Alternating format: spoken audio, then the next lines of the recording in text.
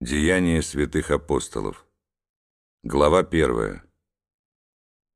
Первую книгу написал я к тебе, Феофил, о всем, что Иисус сделал и чему учил от начала до того дня, в который Он вознесся, дав святым духом повеление апостолам, которых Он избрал, которым и явил себя живым, по страдании своем, со многими верными доказательствами в продолжении сорока дней, являясь им, и говоря о Царствии Божием. И, собрав их, он повелел им, «Не отлучайтесь из Иерусалима, но ждите обещанного от Отца, о чем вы слышали от меня, ибо Иоанн крестил водою, а вы через несколько дней после сего будете крещены Духом Святым». Посему они, сойдясь, спрашивали его, говоря, «Не в сие ли время, Господи, восстановляешь Ты царство Израилю?»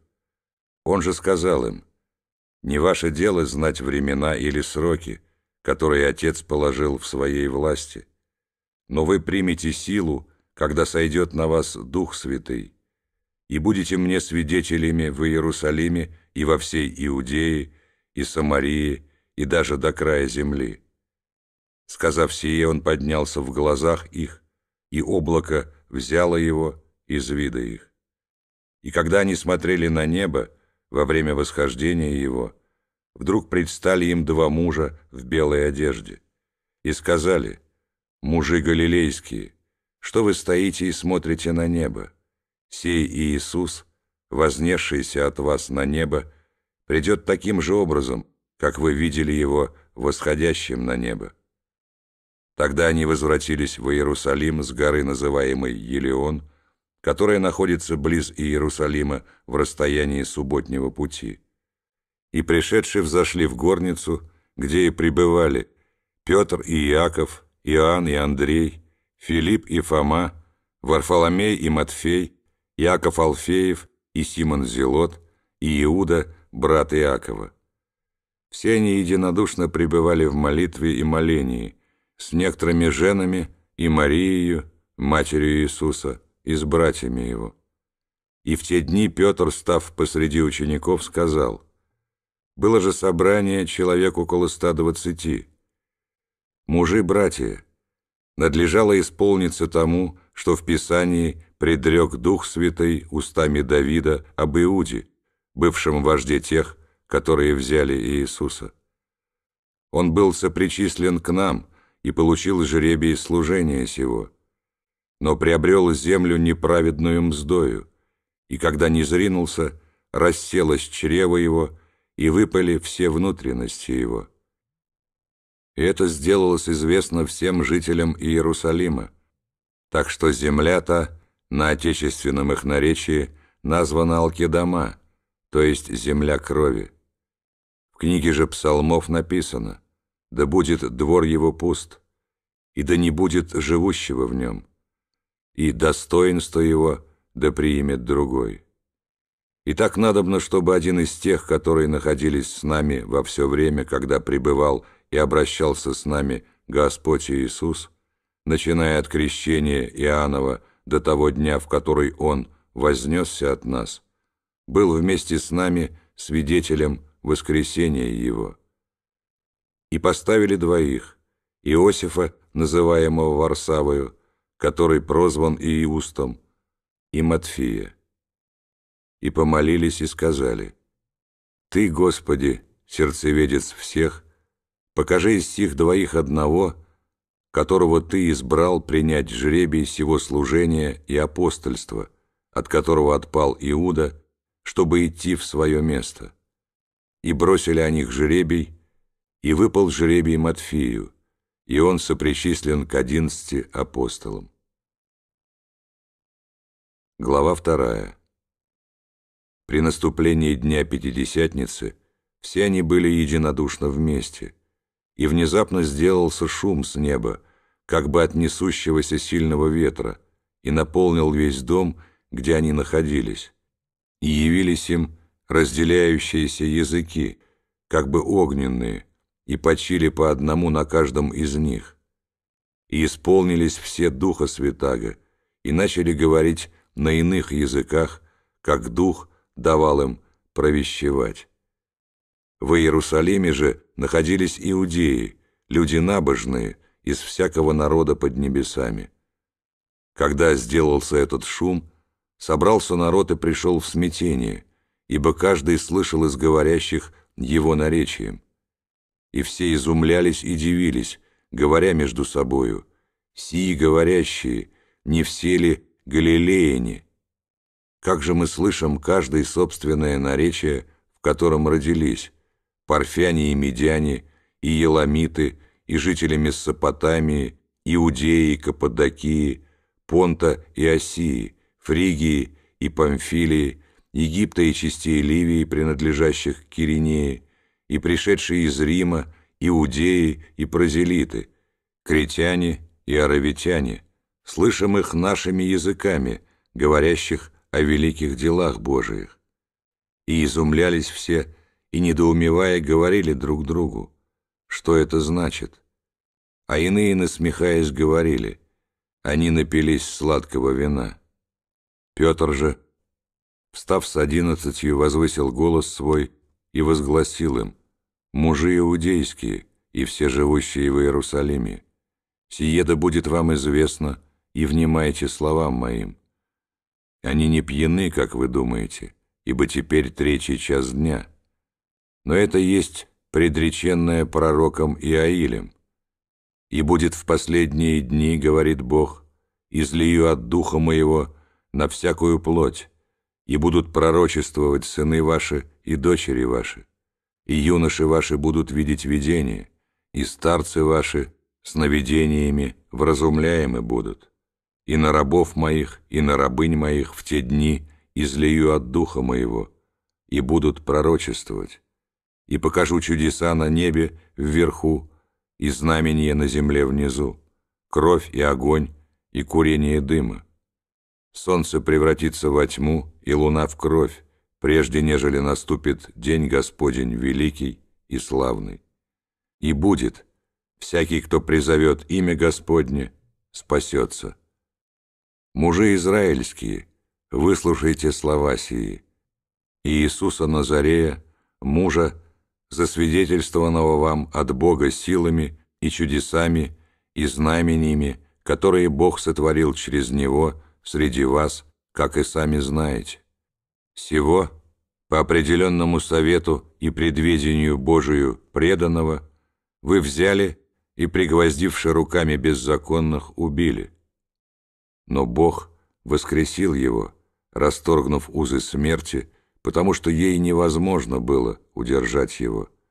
Ибо Давид говорит о нем, «Видел я пред собою Господа всегда, ибо Он одесную меня, дабы я не поколебался от того, что возрадовалось сердце мое, и возвеселился язык мой, даже и плоть моя упокоится в уповании, ибо Ты не оставишь души моей в аде, и не дашь святому Твоему увидеть тление.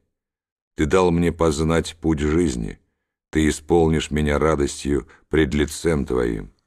Мужи-братья, да будет позволено с дерзновением сказать вам о праотце Давиде, что и он умер и погребен, и гроб его у нас до сего дня.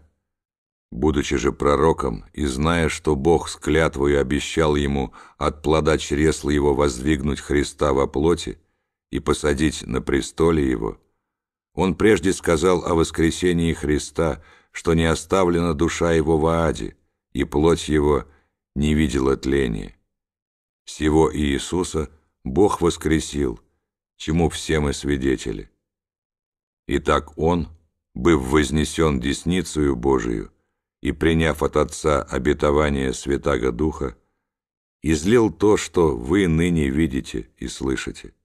Ибо Давид не восшел на небеса, но сам говорит, «Сказал Господь Господу моему, сиди, одесную меня, доколе положу врагов твоих в подножие ног твоих.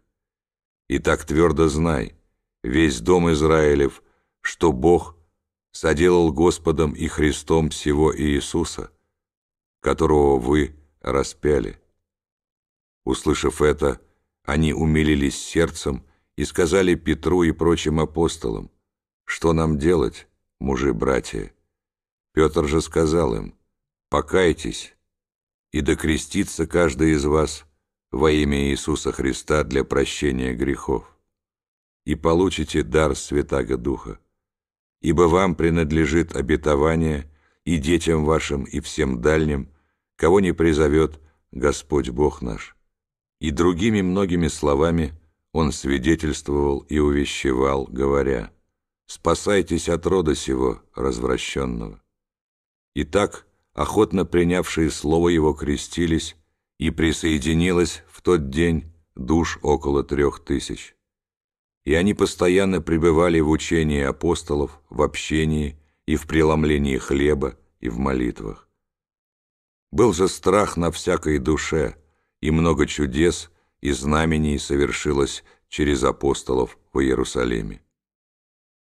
Все же верующие были вместе и имели все общее – и продавали имение и всякую собственность, и разделяли всем, смотря по нужде каждого. И каждый день единодушно пребывали в храме и, преломляя по домам хлеб, принимали пищу в веселье и простоте сердца, хваля Бога и находясь в любви у всего народа. Господь же ежедневно прилагал спасаемых к церкви. Глава третья. Петр и Иоанн шли вместе в храм в час молитвы девятый. И был человек, хромой от чрева матери его, которого носили и сажали каждый день при дверях храма, называемых красными, просить милостыню у входящих в храм. Он, увидев Петра и Иоанна пред входом в храм, просил у них милостыни. Петр с Иоанном, всмотревшись в него, сказали, «Взгляни на нас» и он пристально смотрел на них, надеясь получить от них что-нибудь. Но Петр сказал, «Серебра и золота нет у меня, а что имею, то даю тебе. Во имя Иисуса Христа Назарея встань и ходи». И, взяв его за правую руку, поднял, и вдруг укрепились его ступни и колено, и, вскочив, встал и начал ходить, и вошел с ними в храм, ходя и скача и хваля Бога. И весь народ видел его ходящим и хвалящим Бога. И узнали его, что это был тот, который сидел у красных дверей храма для милостыни, и исполнились ужаса и изумления от случившегося с ним. И как исцеленный хромой не отходил от Петра и Иоанна, то весь народ в изумлении сбежался к ним в притвор, называемый Соломонов. Увидев это, Петр сказал народу, «Мужи израильские, что дивитесь всему, или что смотрите на нас, как будто бы мы своею силою или благочестием сделали то, что он ходит? Бог Авраама, Исаака и Иакова, Бог отцов наших, прославил Сына Своего Иисуса, которого вы предали и от которого отреклись пред лицем Пилата, когда он полагал освободить его» но вы от святого и праведного отреклись и просили даровать вам человека-убийцу, а начальника жизни убили. Сего Бог воскресил из мертвых, чему мы свидетели, и ради веры во имя Его, имя Его укрепило сего, которого вы видите и знаете, и вера, которая от Него даровала Ему исцеление сие пред всеми вами». Впрочем, я знаю, братья, что вы, как и начальники ваши, сделали это по неведению. Бог же, как предвозвестил устами всех своих пророков пострадать Христу, так и исполнил. Итак, покайтесь и обратитесь, чтобы загладились грехи ваши. Да придут времена отрады от лица Господа, и да пошлет Он предназначенного вам Иисуса Христа, которого небо должно было принять до времен совершения всего, что говорил Бог устами всех святых своих пророков от века. Моисей сказал отцам, «Господь Бог ваш воздвигнет вам из братьев ваших пророка, как меня. Слушайтесь его во всем, что он не будет говорить вам. И будет, что всякая душа, которая не послушает пророка того, истребится из народа и все пророки от Самуила и после него, сколько их ни говорили, также предвозвестили дни сии. Вы сыны пророков и завета, который завещал Бог отцам вашим, говоря Аврааму, и в семени твоем благословятся все племена земные. Бог, воскресив Сына Своего Иисуса, к вам первым послал Его благословить вас, отвращая каждого от злых дел ваших. Глава четвертая. Когда они говорили к народу, к ним приступили священники и начальники стражи при храме и садукеи, досадуя на то, что они учат народ и проповедуют во Иисусе воскресение из мертвых, и наложили на них руки, и отдали их под стражу до утра, ибо уже был вечер. Многие же из слушавших слова уверовали, и было число таковых людей около пяти тысяч. На другой день собрались в Иерусалим начальники их, и старейшины, и книжники. И Анна, первосвященник, и Каиафа, и Иоанн, и Александр, и прочие из рода первосвященнического, и, поставившие их посреди, спрашивали, какую силою или каким именем вы сделали это. Тогда Петр, исполнившись Духа Святаго, сказал им, начальники народа и старейшины израильские. Если от нас сегодня требуют ответа в благодеянии человеку немощному, как он исцелен, то да будет известно всем вам и всему народу израильскому, что именем Иисуса Христа Назарея, которого вы распяли, которого Бог воскресил из мертвых, им поставлен Он перед вами здрав. Он есть камень, пренебреженный вами, зиждущими, но сделавшийся главою угла, и нет ни в ком ином спасения, ибо нет другого имени под небом, данного человеком, которым надлежало бы нам спастись. Видя смелость Петра и Иоанна, и приметивши, что они люди не книжные и простые, они удивлялись, между тем узнавали их, что они были с Иисусом. Видя же исцеленного человека, стоящего с ними, ничего не могли сказать вопреки. И, приказавшие им выйти вон из Синедриона, рассуждали между собою, говоря, «Что нам делать с этими людьми? Ибо всем живущим в Иерусалиме известно, что ими сделано явное чудо, и мы не можем отвергнуть всего. Но чтобы более не разгласилось это в народе, с угрозой запретим им, чтобы не говорили об имени сем никому из людей. И, призвавшие их, приказали им отнюдь не говорить и не учить об имени Иисуса. Но Петр и Иоанн сказали им в ответ, «Судите, справедливо ли пред Богом слушать вас более нежели Бога? Мы не можем не говорить того, что видели и слышали». Они же, пригрозившие, отпустили их, не находя возможности наказать их по причине народа, потому что все прославляли Бога за происшедшее. Ибо лет более сорока было тому человеку, над которым сделалось сие чудо исцеления. Бывшие отпущены, они пришли к своим и пересказали, что говорили им первосвященники и старейшины. Они же, выслушавшие единодушно, возвысили голос к Богу и сказали – Владыка Боже, сотворивший небо и землю, и море, и все, что в них. Ты устами отца нашего Давида, раба Твоего, сказал Духом Святым, что метутся язычники, и народы замышляют тщетное. Восстали цари земные и князи, собрались вместе на Господа и на Христа Его.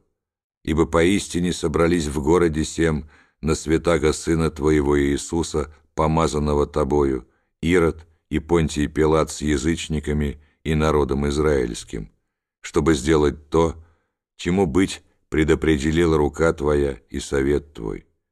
И ныне, Господи, возри на угрозы их и дай рабам Твоим со всею смелостью говорить Слово Твое, тогда как Ты простираешь руку Твою на исцеление и на соделание знамений и чудес именем Святаго Сына Твоего Иисуса, и по молитве их поколебалось место, где они были собраны, и исполнились все духа святаго, и говорили Слово Божие с дерзновением. У множества же уверовавших было одно сердце и одна душа, и никто ничего из имения своего не называл своим, но все у них было общее. Апостолы же с великою силою свидетельствовали о воскресении Господа Иисуса Христа, и великая благодать была на всех их.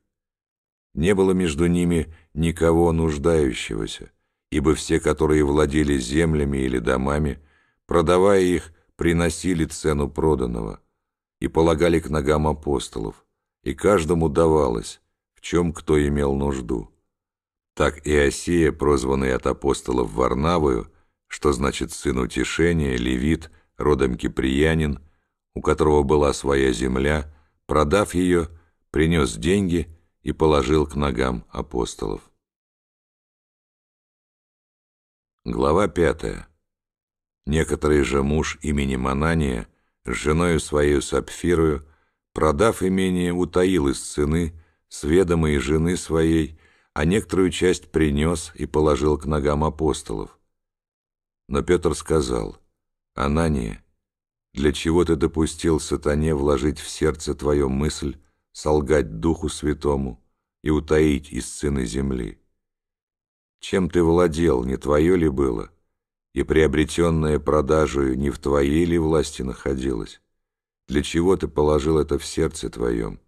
Ты солгал не человеком, а Богу. Услышав сии слова, Анания пал бездыханен, и великий страх объял всех, слышавших это.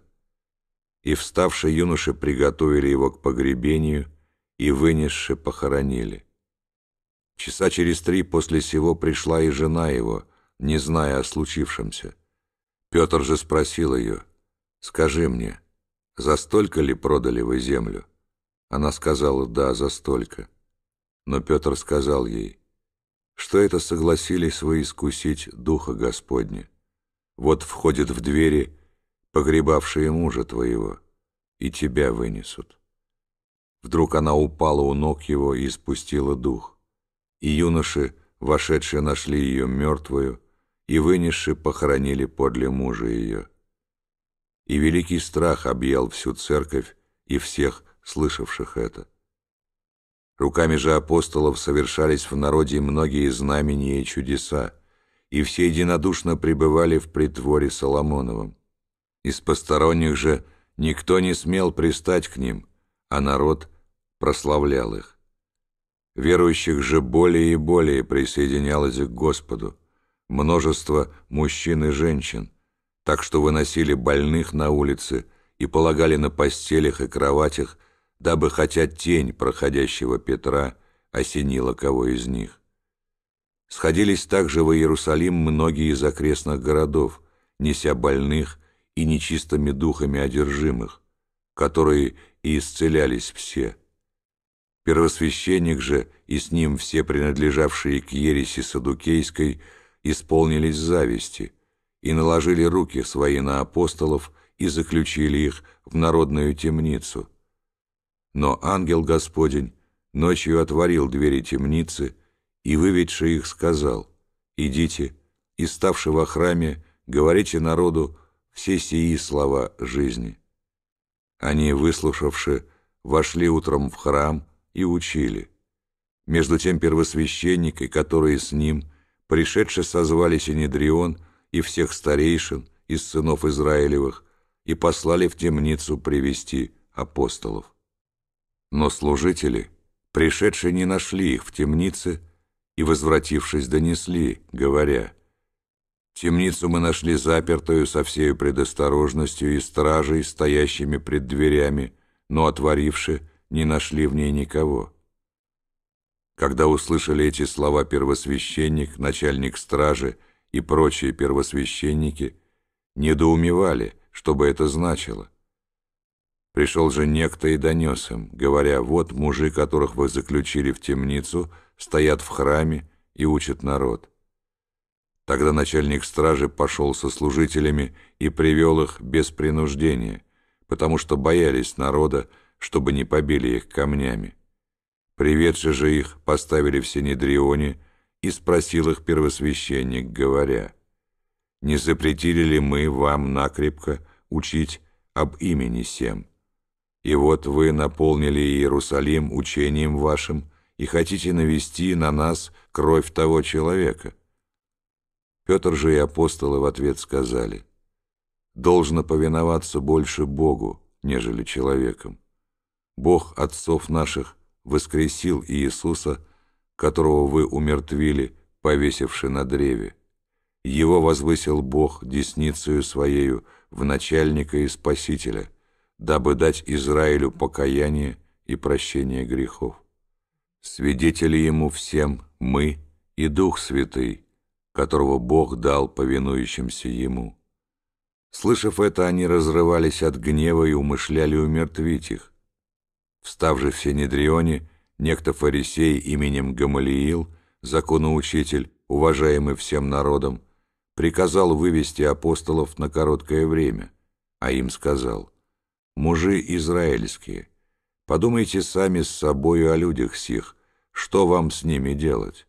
Ибо незадолго перед сим явился Февда, выдавая себя за кого-то великого, и к нему пристало около четырехсот человек, но он был убит, и все, которые слушались его, рассеялись и исчезли. После него во время переписи явился Иуда Галилеянин и увлек за собою довольно народа, но он погиб, и все, которые слушались его, рассыпались. И ныне говорю вам, отстаньте от людей сих и оставьте их, ибо если это предприятие и это дело от человеков, то оно разрушится, а если от Бога, то вы не можете разрушить его. Берегитесь, чтобы вам не оказаться и богопротивниками. Они послушались его, и, призвавши апостолов, били их, и, запретивши им говорить об имени Иисуса, отпустили их. Они же пошли из Синедриона, радуясь, что за имя Господа Иисуса удостоились принять бесчестие. И всякий день в храме и по домам не переставали учить и благовествовать об Иисусе Христе. Глава шестая.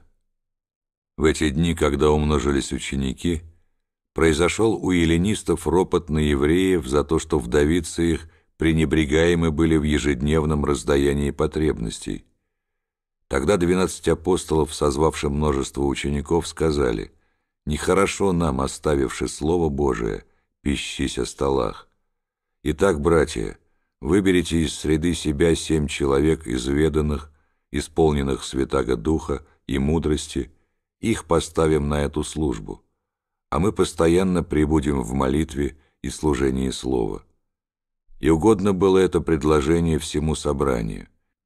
И избрали Стефана, мужа исполненного веры и Духа Святаго, и Филиппа, и Прохора, и Никанора, и Тимона, и Пармена, и Николая Антиохийца, обращенного из язычников. Их поставили пред апостолами, и сии, помолившись, возложили на них руки. И Слово Божие росло, и число учеников весьма умножалось в Иерусалиме и из священников очень многие покорились вере. А Стефан, исполненный веры и силы, совершал великие чудеса и знамения в народе. Некоторые из так называемой синагоги либертинцев и киринейцев и александрийцев и некоторые из Киликии и Осии вступили в спор со Стефаном, но не могли противостоять мудрости и духу, которым он говорил. Тогда научили они некоторых сказать, мы слышали, как он говорил хульные слова на Моисея и на Бога. И возбудили народ и старейшин, и книжников, и, напавши, схватили его, и повели в Синедрион. И представили ложных свидетелей, которые говорили, «Этот человек не перестает говорить хульные слова на святое место и на закон. Ибо мы слышали, как он говорил, что Иисус Назарей разрушит место сие и переменит обычаи, которые передал нам Моисей. И все сидящие в Синедрионе, смотря на него, видели лице его, как лице ангела. Глава седьмая. Тогда сказал первосвященник, так ли это?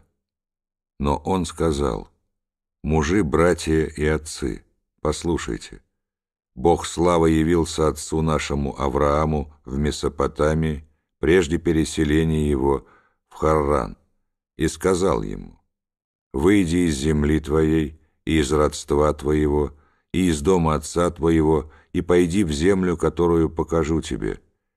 Тогда он вышел из земли халдейской и поселился в Харране, а оттуда по смерти отца его переселил его Бог в сию землю, в которой вы ныне живете, и не дал ему на ней наследство ни на стопу ноги, а обещал дать ее во владение ему и потомство ему по нем, когда еще был он бездетен.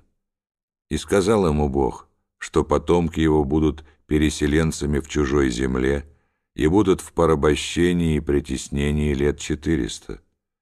Но я, — сказал Бог, — произведу суд над тем народом, у которого они будут в порабощении, и после того они выйдут и будут служить мне на сем месте. И дал ему завет обрезания.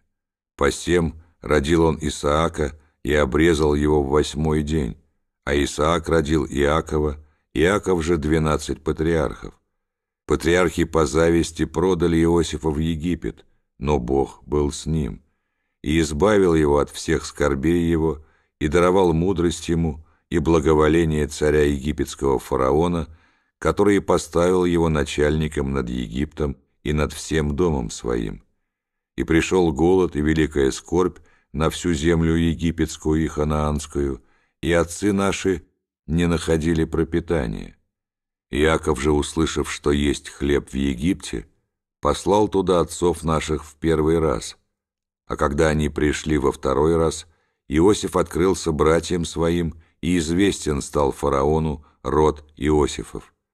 Иосиф, послав, призвал отца своего Иакова и все родство свое, семьдесят пять душ. Иаков перешел в Египет и скончался сам и отцы наши, и перенесены были в Сихем, и положено в гробе, который купил Авраам ценою серебра у сынов Емора Сихемова. А по мере, как приближалось время исполниться обетованию, о котором клялся Бог Аврааму, народ возрастал и умножался в Египте до тех пор, как восстал иной царь, который не знал Иосифа. Сей, ухищряясь против рода нашего, притеснял отцов наших принуждая бросать детей своих, чтобы они оставались в живых. В это время родился Моисей и был прекрасен пред Богом. Три месяца он был питаем в доме отца своего, а когда был брошен, взяла его дочь фараонова и воспитала его у себя как сына. И научен был Моисей всей мудрости египетской, и был силен в словах и делах. Когда же исполнилось ему сорок лет, пришло ему на сердце посетить братьев своих, сынов Израилевых. И, увидев одного из них, обижаемого, вступился и отмстил за оскорбленного, поразив египтянина. Он думал, поймут братья его, что Бог рукою его дает им спасение, но они не поняли. На следующий день, когда некоторые из них дрались, он явился и склонял их к миру, говоря — вы, братья, зачем обижаете друг друга? Но обижающий ближнего оттолкнул его, сказав, «Кто тебя поставил начальником и судьею над нами? Не хочешь ли ты убить и меня, как вчера убил египтянина?» От сих слов Моисей убежал и сделался пришельцем в земле Мадиамской, где родились от него два сына. По исполнении сорока лет – явился ему в пустыне горы Синая ангел Господень в пламени горящего тернового куста.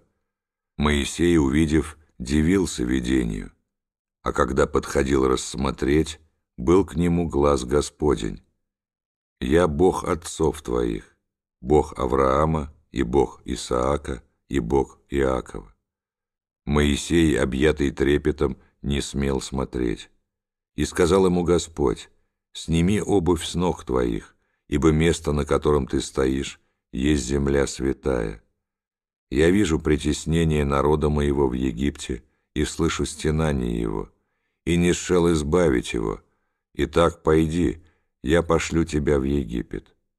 Сего Моисея, которого они отвергли, сказавши, кто тебя поставил начальником и судьею, сего Бог через ангела, явившегося ему в терновом кусте, послал начальником и избавителем.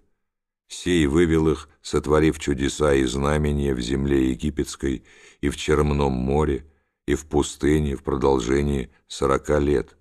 Это тот Моисей, который сказал сынам Израилевым, «Пророка воздвигнет вам Господь Бог ваш из братьев ваших, как меня его слушайте». Это тот, который был в собрании в пустыне с ангелом, говорившим ему на горе Синае и с отцами нашими, и который принял живые слова, чтобы передать нам, которому отцы наши не хотели быть послушными, но отринули его и обратились сердцами своими к Египту, сказавши Аарону, «Сделай нам богов, которые предшествовали бы нам, ибо с Моисеем, который вывел нас из земли египетской, не знаем, что случилось». И сделали в те дни тельца, и принесли жертву идолу, и веселились пред делом рук своих. Бог же отвратился и оставил их служить воинству небесному, как написано в книге пророков, «Дом Израилев, приносили ли вы мне заколения и жертвы в продолжении сорока лет в пустыне? Вы приняли скинию Малохову и звезду Бога вашего Ремфана, изображение, которое вы сделали, чтобы поклоняться им, и я переселю вас далее Вавилона». Скиния свидетельства была у отцов наших в пустыне, как повелел говоривший Моисею сделать ее по образцу им виденному. Отцы наши с Иисусом, взявшие ее, внесли во владение народов, изгнанных Богом от лица отцов наших. Так было до дней Давида. Сей обрел благодать пред Богом и молил, чтобы найти жилище Богу Иакова. Соломон же построил ему дом, но Всевышний в нерукотворенных храмах живет как говорит пророк. «Небо — престол мой, и земля — подножие ног моих. Какой дом созиждете мне, — говорит Господь, — или какое место для покоя моего? Не моя ли рука сотворила все сие? Жестоковыйные, люди с необрезанным сердцем и ушами, вы всегда противитесь Духу Святому, как отцы ваши, так и вы. Кого из пророков не гнали отцы ваши? Они убили предвозвестивших пришествие праведника, которого предателями и убийцами сделались ныне вы, вы, которые приняли закон при служении ангелов и не сохранили. Слушая сие, они рвались сердцами своими и скрежетали на него зубами. Стефан же, будучи исполнен Духа Святаго, возрев на небо, увидел славу Божию и Иисуса, стоящего одесную Бога, и сказал, «Вот я вижу небеса отверстые и Сына Человеческого, стоящего одесную Бога». Но они, закричавши громким голосом, затыкали уши свои и единодушно устремились на него. И, вышедши за город, стали побивать его камнями. Свидетели же положили свои одежды у ног юноши именем Савла, и побивали камнями Стефана, который молился и говорил, «Господи Иисусе, приими дух мой». И, преклонив колено, воскликнул громким голосом, «Господи, не вмени им греха сего». И, сказав сие, почил.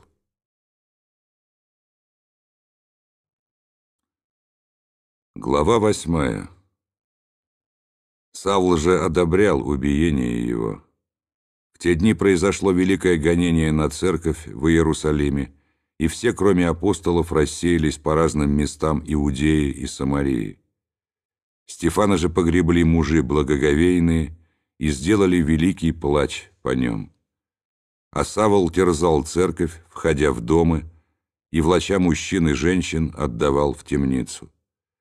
Между тем рассеявшиеся ходили и благовествовали Слово. Так Филипп пришел в город Самарийский и проповедовал им Христа. Народ единодушно внимал тому, что говорил Филипп, слыша и видя, какие он творил чудеса. Ибо нечистые духи из многих одержимых ими выходили с великим воплем, а многие расслабленные и хромые исцелялись. И была радость великая в том городе. Находился же в городе некоторый муж именем Симон, который перед тем волховал и изумлял народ самарийский, выдавая себя за кого-то великого. Ему внимали все, от малого до большого, говоря, «Сей есть великая сила Божия». А внимали ему потому, что он немалое время изумлял их волхованиями. Но когда поверили Филиппу, благовествующему о Царствии Божием, и о имени Иисуса Христа, то крестились и мужчины, и женщины. Уверовал и сам Симон, и, крестившись, не отходил от Филиппа, и, видя совершающиеся великие силы и знамения, изумлялся. Находившиеся в Иерусалиме апостолы, услышавши, что самаряне приняли Слово Божие, послали к ним Петра и Иоанна, которые, пришедшие, помолились о них, чтобы они приняли Духа Святаго. Ибо он не сходил еще ни на одного из них, а только были они крещены во имя Господа Иисуса. Тогда возложили руки на них, и они приняли Духа Святаго. Симон же, увидев, что через возложение рук апостольских подается Дух Святый, принес им деньги, говоря, «Дайте и мне власть сию, чтобы тот, на кого я возложу руки, получал Духа Святаго». Но Петр сказал ему, «Серебро твое да будет в погибель с тобою, потому что ты помыслил дар Божий получить за деньги. Нет тебе всем части и жребия, ибо сердце твое неправо перед Богом. Итак, покайся всем грехе твоем и молись Богу, может быть, отпустится тебе помысел сердца твоего. Ибо вижу тебя, исполненного горькой желчи и в узах неправды. Симон же сказал в ответ, «Помолитесь вы за меня Господу, дабы не постигло меня ничто из сказанного вами». Они же, засвидетельствовавшие и проповедавшие Слово Господне, обратно пошли в Иерусалим и во многих селениях самарийских проповедовали Евангелие. А Филиппу ангел Господень сказал, «Встань и иди на полдень, на дорогу, ведущую из Иерусалима в Газу, на ту, которая пуста. Он встал и пошел. И вот муж Ефиоплянин, Евнух, вельможа Кандакии, царицы Ефиопской, хранитель всех сокровищ ее, приезжавший в Иерусалим для поклонения, возвращался и, сидя на колеснице своей, читал пророка Исаию. Дух сказал Филиппу, «Подойди и пристань к сей колеснице».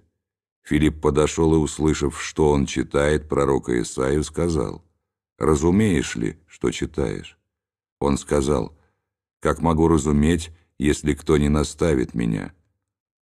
И попросил Филиппа взойти и сесть с ним.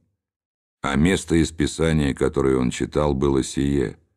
Как овца веден был он на заклание, и как агнец, предстригущим его безгласен, так он не отверзает уст своих, в уничижении его суд его совершился, но род его кто разъяснит?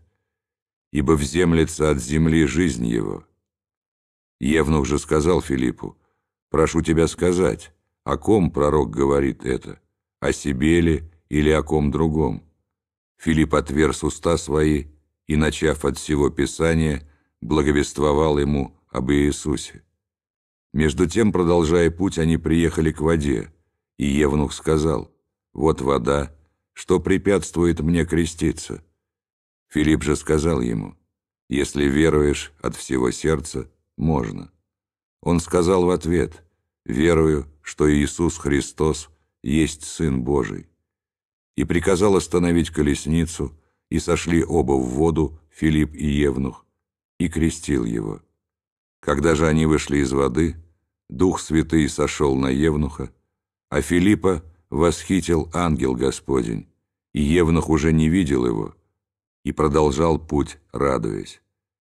А Филипп оказался в Азоте, и, проходя, благовествовал всем городам, пока пришел в Кесарию. Глава девятая. Савл же, еще дыша угрозами и убийством на учеников Господа, пришел к первосвященнику и выпросил у него письма в Дамаск к синагогам, чтобы кого найдет последующих всему учению, и мужчин, и женщин, связав, приводить в Иерусалим. Когда же он шел и приближался к Дамаску, внезапно осиял его свет с неба. Он упал на землю и услышал голос, говорящий ему, «Савол, Савол, что ты гонишь меня?» Он сказал, «Кто ты, Господи?» Господь же сказал, «Я Иисус, которого ты гонишь. Трудно тебе идти против рожна». Он в трепете и ужасе сказал, «Господи, что повелишь мне делать?» И Господь сказал ему, «Встань и иди в город, и сказано будет тебе, что тебе надобно делать». Люди же, шедшие с ним, стояли в оцепенении, слыша голос, а никого не видя. Савол встал с земли и с открытыми глазами никого не видел, и повели его за руку и привели в Дамаск. И три дня он не видел, и не ел, и не пил. В Дамаске был один ученик именем Анания, и Господь в видении сказал ему, «Анания». Он сказал, «Я, Господи». Господь же сказал ему, «Встань и пойди на улицу, так называемую прямую, и спроси в Иудином доме Тарсянина, по имени Савла. Он теперь молится. И видел в видении мужа именем Ананию, пришедшего к нему и возложившего на него руку, чтобы он прозрел. Ананий отвечал, «Господи, я слышал от многих о сем человеке, сколько зла сделал он святым Твоим в Иерусалиме. Здесь он имеет от первосвященников власть вязать всех, призывающих имя Твое. Но Господь сказал ему, «Иди, ибо он есть мой избранный сосуд, чтобы возвещать имя Мое пред народами и царями и сынами Израилевыми. И я покажу ему, сколько он должен пострадать за имя Мое».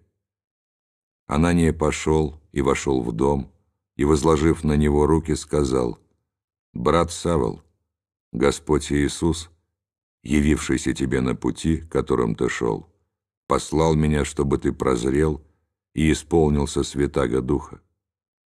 И тотчас как бы чешуя отпала от глаз его, и вдруг он прозрел, и, встав, крестился, и, приняв пищу, укрепился. И был Савол несколько дней с учениками в Дамаске, и тотчас стал проповедовать в синагогах об Иисусе, что Он есть Сын Божий. И все слышавшие дивились и говорили – не тот ли это самый, который гнал в Иерусалиме призывающих имя сие, да и сюда затем пришел, чтобы ввязать их и вести к первосвященникам? А Савол более и более укреплялся и приводил в замешательство иудеев, живущих в Дамаске, доказывая, что сей есть Христос. Когда же прошло довольно времени, иудеи согласились убить его – но Савл узнал об этом умысле их, а они день и ночь стерегли у ворот, чтобы убить его. Ученики же ночью, взявшие его, спустили по стене в корзине.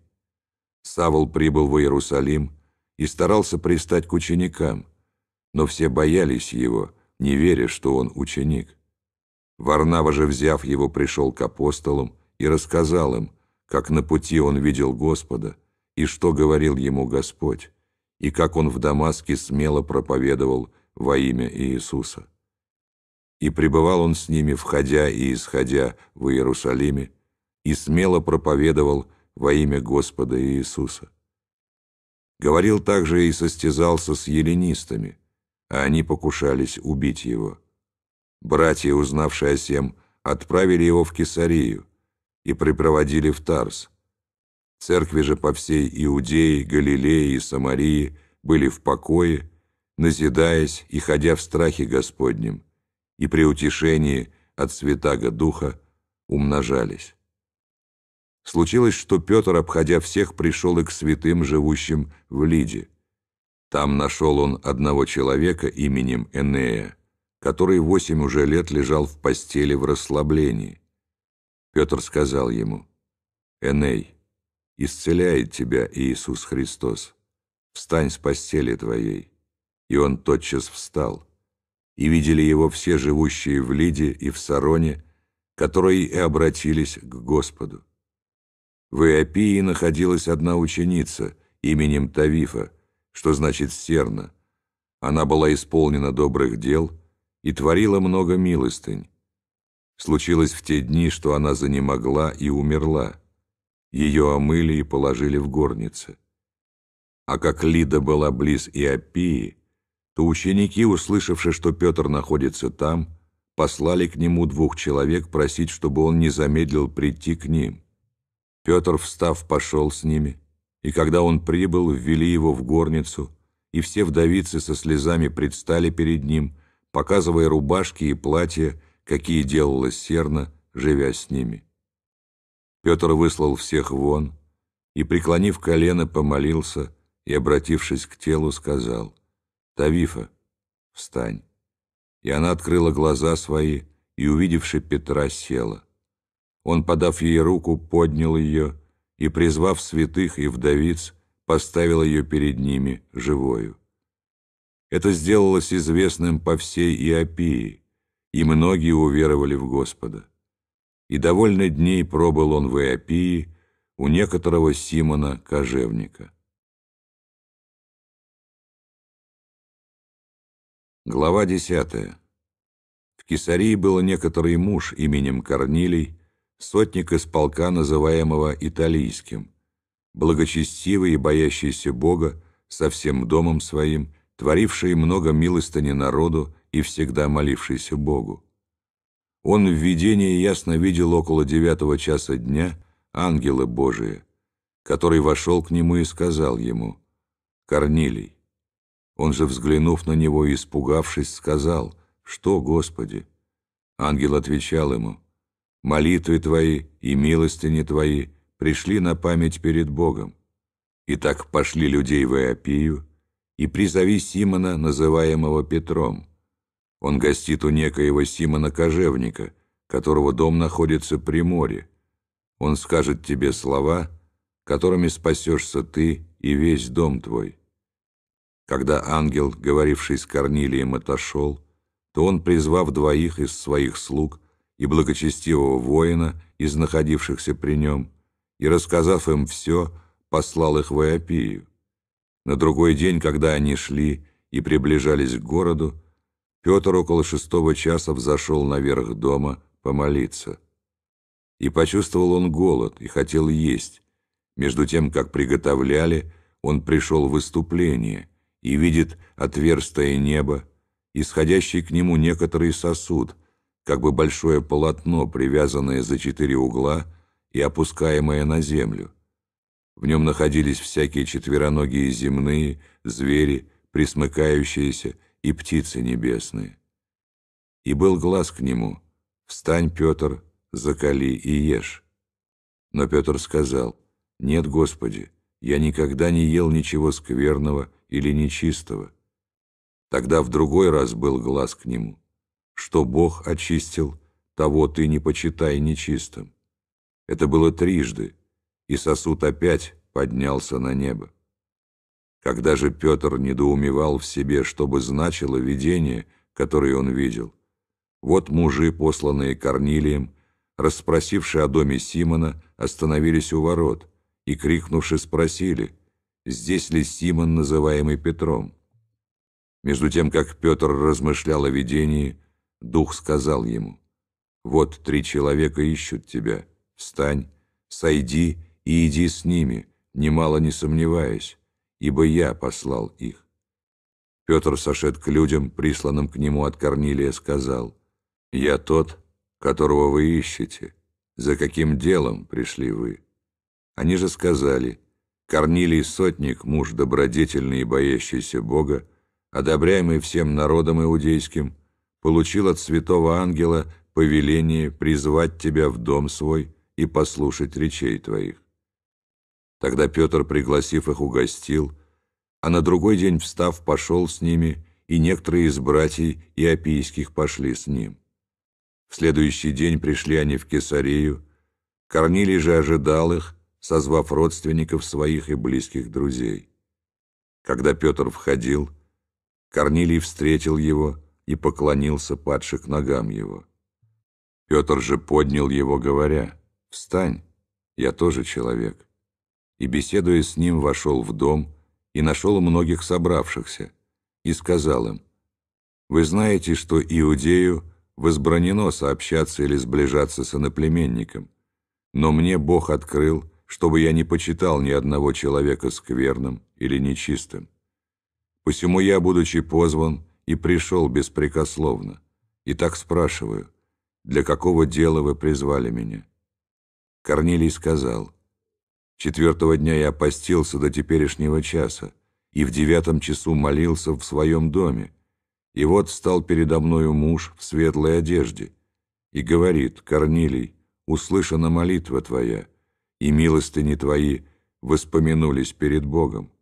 И так пошли в Иопию и призови Симона, называемого Петром. Он гостит в доме кожевника Симона при море, он придет и скажет тебе – Тотчас послал я к тебе, и ты хорошо сделал, что пришел.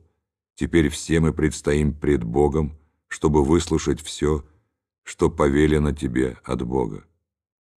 Петр отверз уста и сказал, «Истинно познаю, что Бог нелицеприятен, но во всяком народе боящийся Его и поступающий по правде приятен Ему. Он послал сынам Израилевым Слово, благовествуя мир через Иисуса Христа. Сей есть Господь всех. Вы знаете происходившее по всей Иудее, начиная от Галилеи, после крещения, проповеданного Иоанном, как Бог Духом Святым и силою помазал Иисуса из Назарета, и Он ходил, благотворя и исцеляя всех, обладаемых дьяволом, потому что Бог был с Ним и мы свидетели всего, что сделал он в стране Иудейской и в Иерусалиме, и что, наконец, его убили, повесивши на дереве. Сего Бог воскресил в третий день и дал ему являться не всему народу, но свидетелем, предизбранным от Бога нам, которые с ним ели и пили по воскресении его из мертвых. И он повелел нам проповедовать людям и свидетельствовать, что он – есть определенный от Бога судья живых и мертвых. О нем все пророки свидетельствуют, что всякий верующий в Него получит прощение грехов именем Его. Когда Петр еще продолжал эту речь, Дух Святый сошел на всех, слушавших Слово, и верующие из обрезанных пришли с Петром, изумились, что дар Святаго Духа излился и на язычников, ибо слышали их говорящих языками и величающих Бога. Тогда Петр сказал, «Кто может запретить креститься водою тем, которые, как и мы, получили Святаго Духа?» И велел им креститься во имя Иисуса Христа. Потом они просили его побыть у них несколько дней.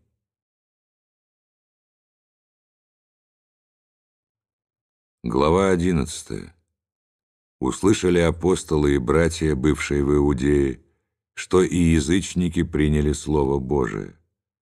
И когда Петр пришел в Иерусалим, обрезанные упрекали его, говоря, «Ты ходил к людям необрезанным и ел с ними». Петр же начал пересказывать им по порядку, говоря, «В городе Иопии я молился, и в выступлении видел видение» сходило некоторый сосуд, как бы большое полотно, за четыре угла спускаемое с неба, и спустилось ко мне. Я посмотрел в него и, рассматривая, увидел четвероногих земных, зверей, присмыкающихся и птиц небесных. И услышал я голос, говорящий мне, «Встань, Петр, закали и ешь». Я же сказал, «Нет, Господи, ничего скверного или нечистого никогда не входило в уста мои. И отвечал мне голос вторично с неба, что Бог очистил, того ты не почитай нечистым. Это было трижды, и опять поднялось все на небо. И вот в тот самый час три человека стали перед домом, в котором я был, посланные из Кесарии ко мне. Дух сказал мне, чтобы я шел с ними, немало не сомневаясь. Пошли со мною и сии шесть братьев, и мы пришли в дом того человека. Он рассказал нам, как он видел в доме своем ангела святого, который стал и сказал ему, «Пошли в Иопию людей и призови Симона, называемого Петром. Он скажет тебе слова, которыми спасешься ты и весь дом твой». Когда же начал я говорить, сошел на них Дух Святый, как и на нас вначале. Тогда вспомнил я слова Господа, как Он говорил, Иоанн крестил водою, а вы будете крещены Духом Святым. Итак, если Бог дал им такой же дар, как и нам, уверовавшим в Господа Иисуса Христа, то кто же я, чтобы мог воспрепятствовать Богу?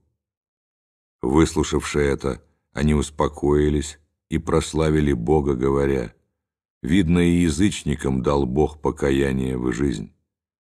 Между тем рассеявшиеся от гонения, бывшего после Стефана, прошли до Финикии и Кипра и Антиохии, никому не проповедуя слово, кроме иудеев. Были же некоторые из них кипряне и киринейцы, которые, пришедшие в Антиохию, говорили еленам, благовествуя Господа Иисуса. И была рука Господня с ними, и великое число, уверовав, обратилось к Господу. Дошел слух о сем до церкви Иерусалимской, и поручили Варнаве идти в Антиохию. Он, прибыв и увидев благодать Божию, возрадовался и убеждал всех держаться Господа искренним сердцем.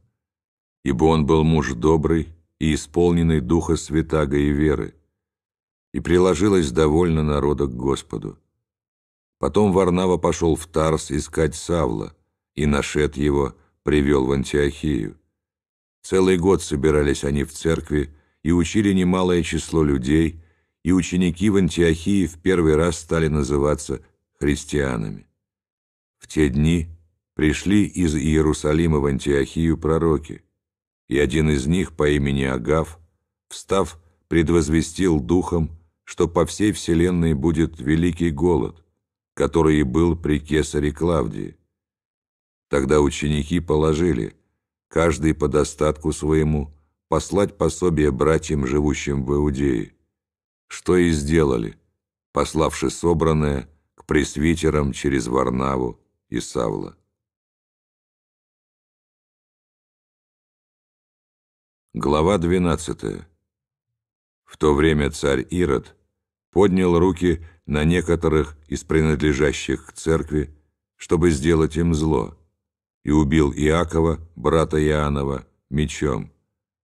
Видя же, что это приятно иудеям, вслед затем взял и Петра. Тогда были дни опресноков, и, задержав его, посадил в темницу и приказал четырем четверицам воинов стеречь его, намереваясь после Пасхи вывести его к народу.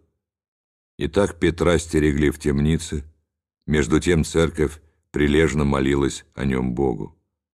Когда же Ирод хотел вывести его, в ту ночь Петр спал между двумя воинами, скованный двумя цепями, и стражи у дверей стерегли темницу. И вот ангел Господень предстал, и свет осиял темницу.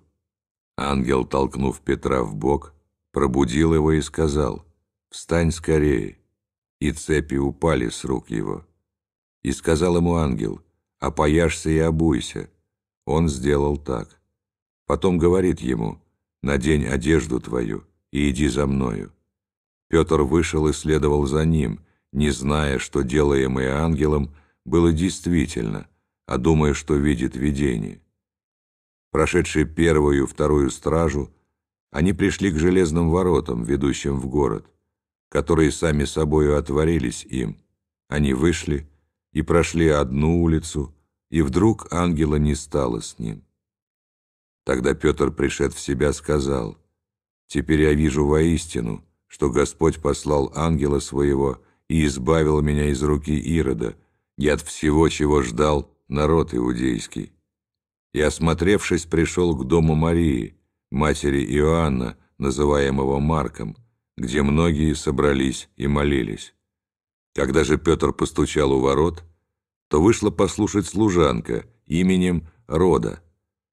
И, узнавший голос Петра, от радости не отворила ворот, но вбежавшая объявила, что Петр стоит у ворот. А те сказали ей, «В своем ли ты уме?» Но она утверждала свое. Они же говорили, «Это ангел его». Между тем Петр продолжал стучать. Когда же отворили, то увидели его и изумились. Он же, дав знак рукою, чтобы молчали, рассказал им, как Господь вывел его из темницы и сказал, «Уведомьте о сем Иакова и братьев». Потом вышед, пошел в другое место. По наступлении дня между воинами сделалась большая тревога о том, что сделалось с Петром.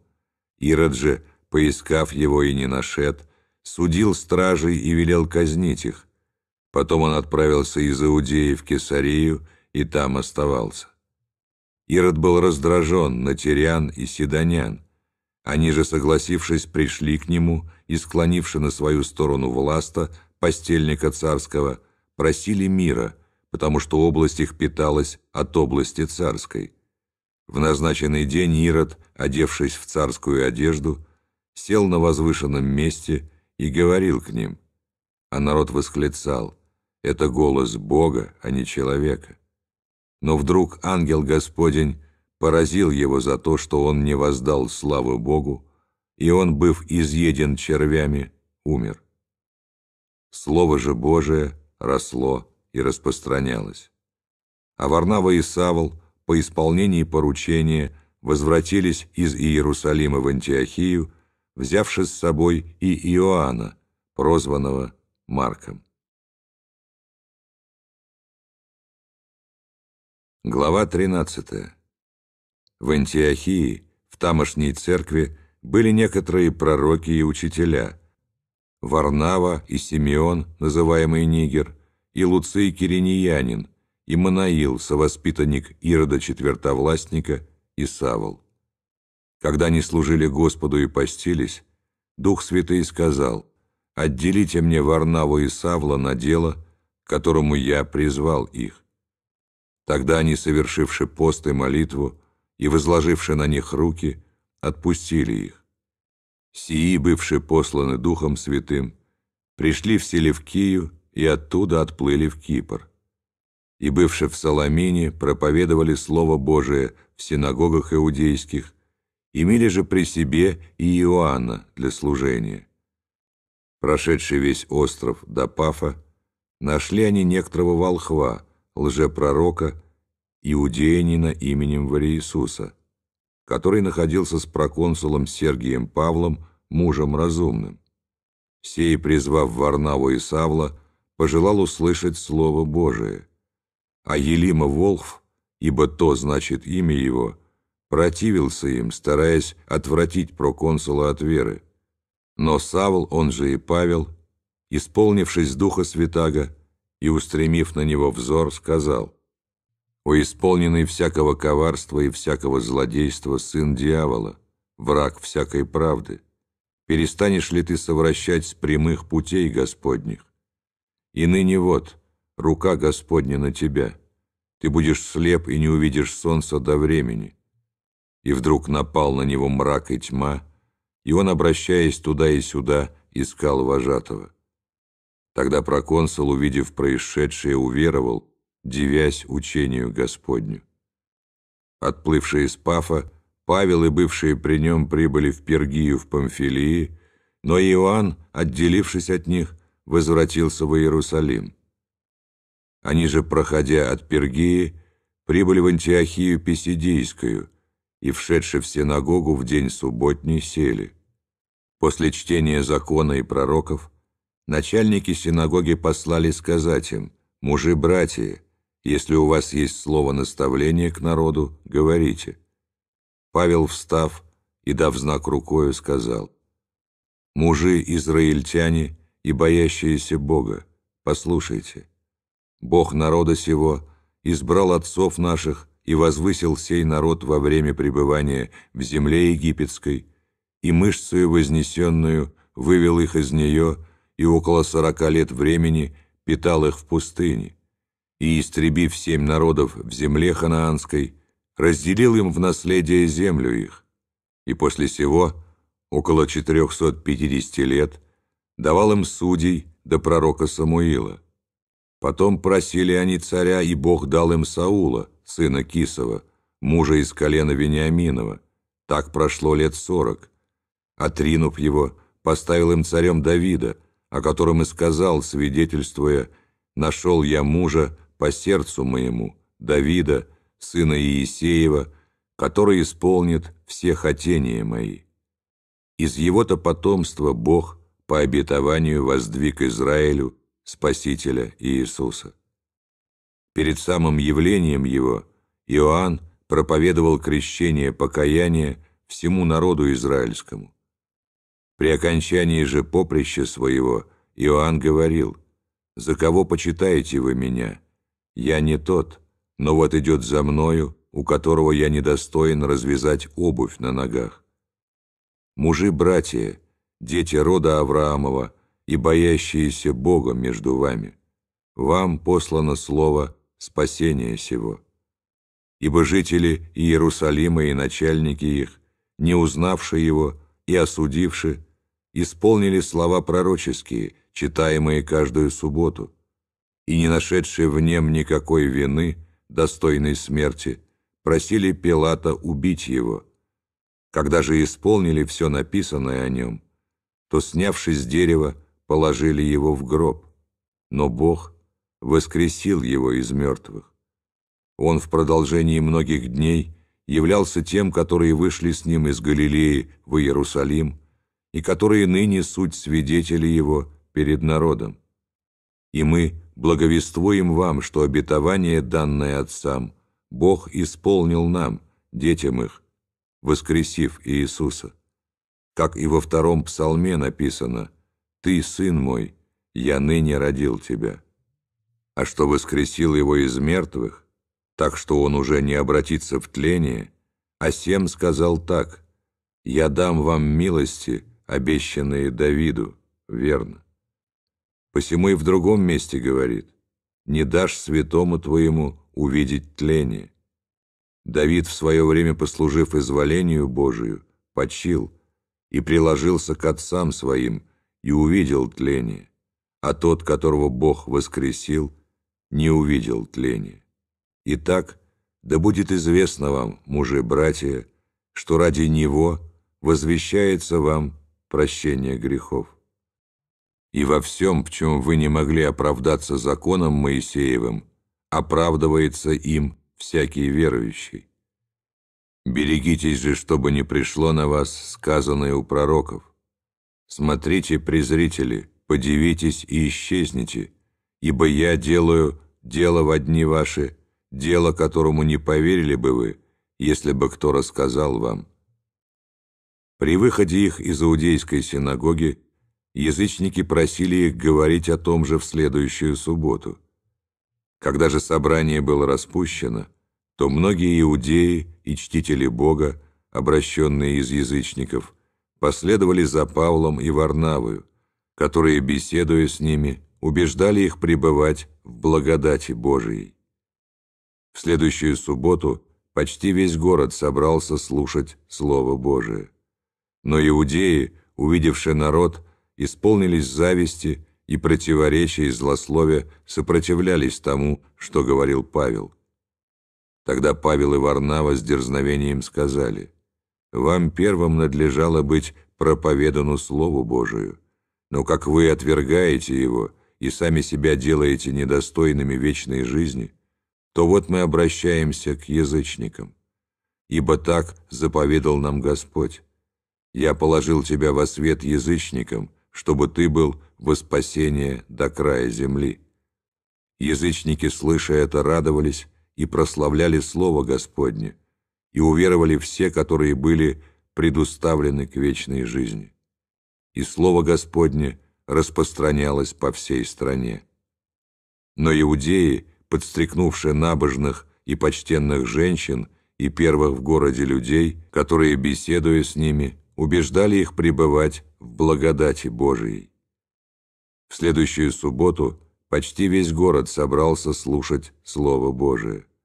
Но иудеи, увидевшие народ, исполнились зависти и противоречия и злословия сопротивлялись тому, что говорил Павел. Тогда Павел и Варнава с дерзновением сказали, «Вам первым надлежало быть проповедану Слову Божию, но как вы отвергаете его и сами себя делаете недостойными вечной жизни, то вот мы обращаемся к язычникам. Ибо так заповедал нам Господь. Я положил тебя во свет язычникам, чтобы ты был во спасение до края земли». Язычники, слыша это, радовались, и прославляли Слово Господне, и уверовали все, которые были предуставлены к вечной жизни. И Слово Господне распространялось по всей стране. Но иудеи, подстрекнувшие набожных и почтенных женщин и первых в городе людей, воздвигли гонение на Павла и Варнаву и изгнали их из своих пределов. Они же, отрясшие на них прах от ног своих, пошли в Иконию, а ученики исполнились радости и Духа Святаго.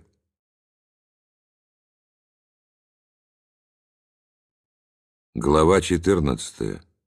В Иконии они вошли вместе в Иудейскую синагогу и говорили так, что уверовало великое множество иудеев и еленов. А неверующие иудеи возбудили и раздражили против братьев сердца язычников. Впрочем, они пробыли здесь довольно времени, смело действуя о Господе, который во свидетельство Слову благодати Своей творил руками их знамения и чудеса. Между тем народ в городе разделился, и одни были на стороне иудеев, а другие на стороне апостолов. Когда же язычники и иудеи со своими начальниками устремились на них, чтобы посрамить и побить их камнями, они, узнавшие о сем, удалились в ликаонские города Листру и Дервию и в окрестности их, и там благовествовали. В Листре некоторый муж, не владевший ногами, сидел, будучи хром от чрева матери своей, и никогда не ходил. Он слушал говорившего Павла, который, взглянув на него и увидев, что он имеет веру, для получения исцеления, сказал громким голосом, «Тебе говорю во имя Господа Иисуса Христа, стань на ноги твои прямо». И он тотчас вскочил и стал ходить. Народ же, увидев, что сделал Павел, возвысил свой голос, говоря по-ликаонски, «Боги в образе человеческом сошли к нам» и называли Варнаву Зевсом, а Павла Ермием, потому что он начальствовал в слове. Жрец же идола Зевса, находившегося перед их городом, приведший к воротам валов и принесший венки, хотел вместе с народом совершить жертвоприношение. Но апостолы Варнава и Павел, услышавшие о сем, разодрали свои одежды и, бросившись в народ, громогласно говорили, «Мужи, что вы это делаете?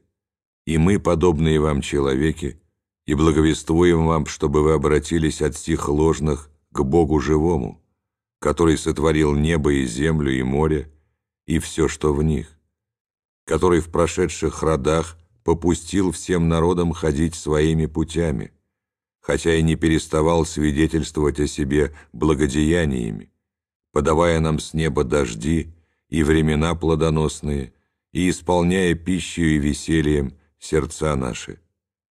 И говоря сие, они едва убедили народ не приносить им жертвы и идти каждому домой. Между тем, как они, оставаясь там, учили. Из Антиохии и Иконии пришли некоторые иудеи, и когда апостолы смело проповедовали, убедили народ отстать от них, говоря, «Они не говорят ничего истинного, а все лгут».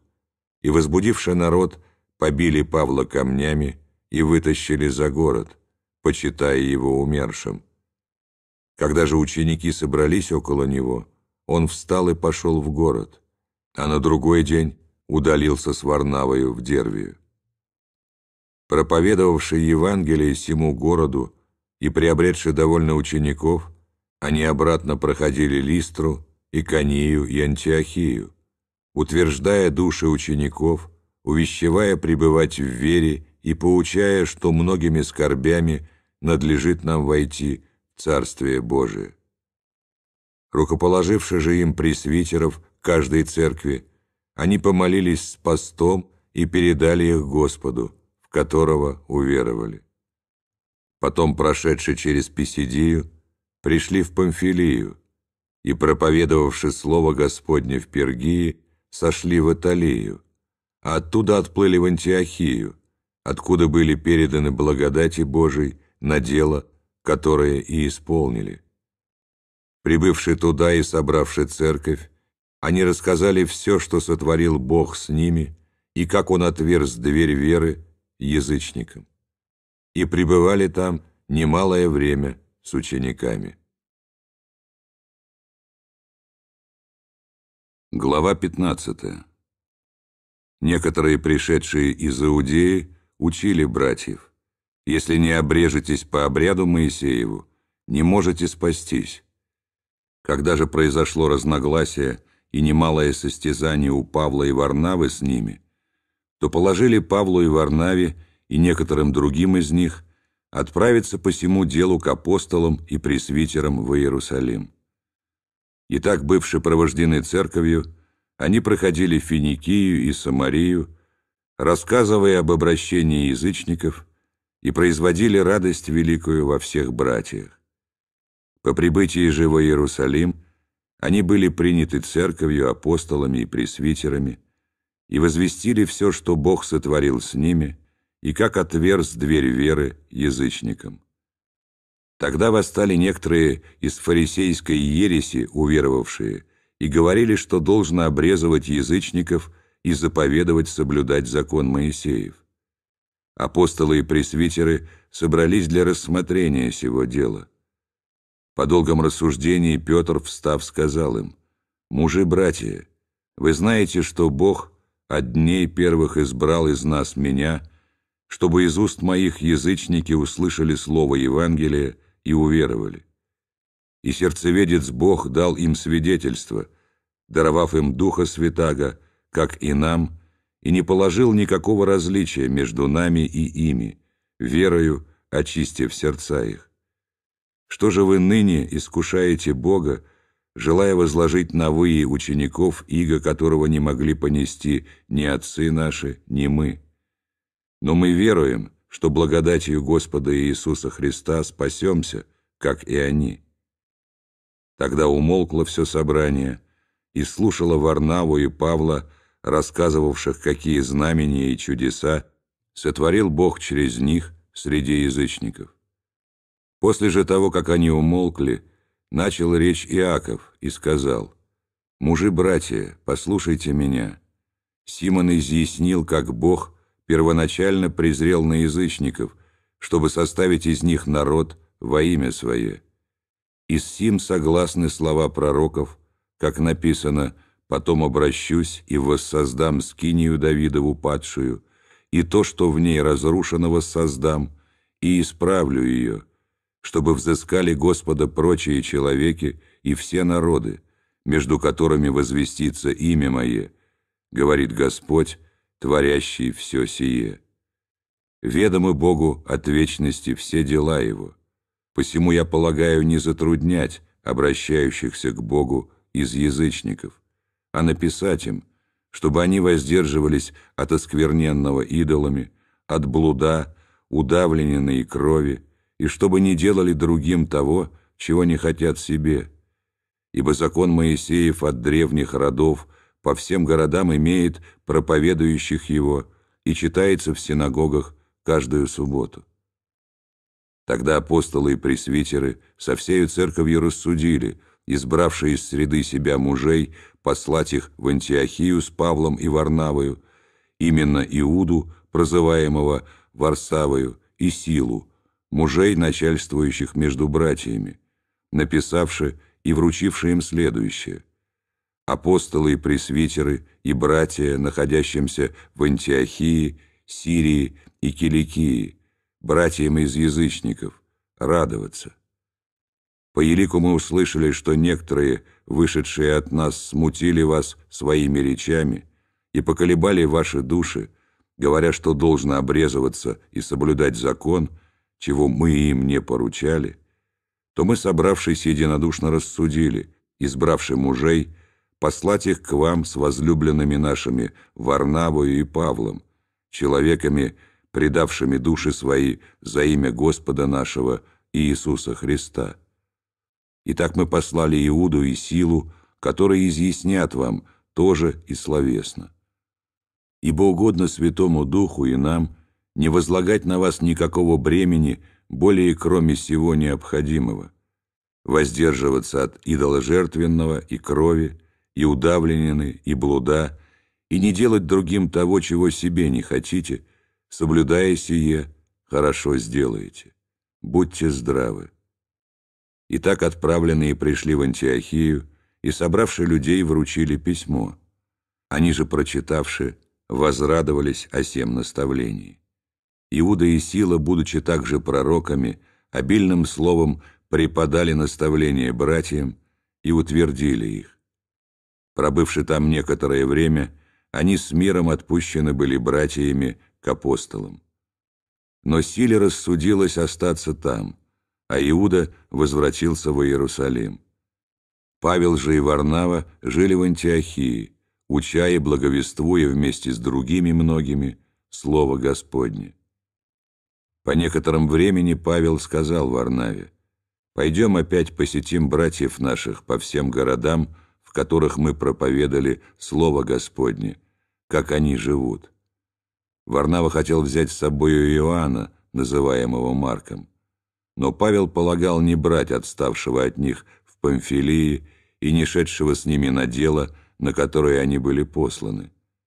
Отсюда произошло огорчение, так что они разлучились друг с другом, и Варнава, взяв Марка, отплыл в Кипр. А Павел, избрав себе силу, отправился, быв поручен братьями благодати Божией, и проходил Сирию и Киликию, утверждая церкви.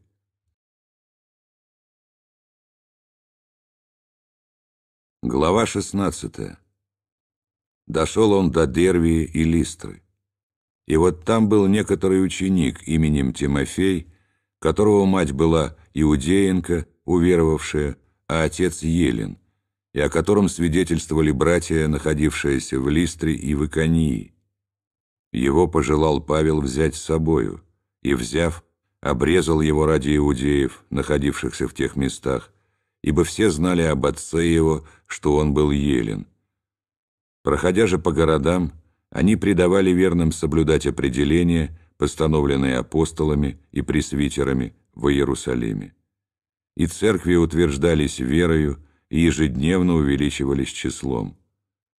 Прошедшие через Фригию и Галатийскую страну, они не были допущены Духом Святым проповедовать Слово в Осии дошедшие до Мессии, предпринимали идти в Вифинию, но Дух не допустил их.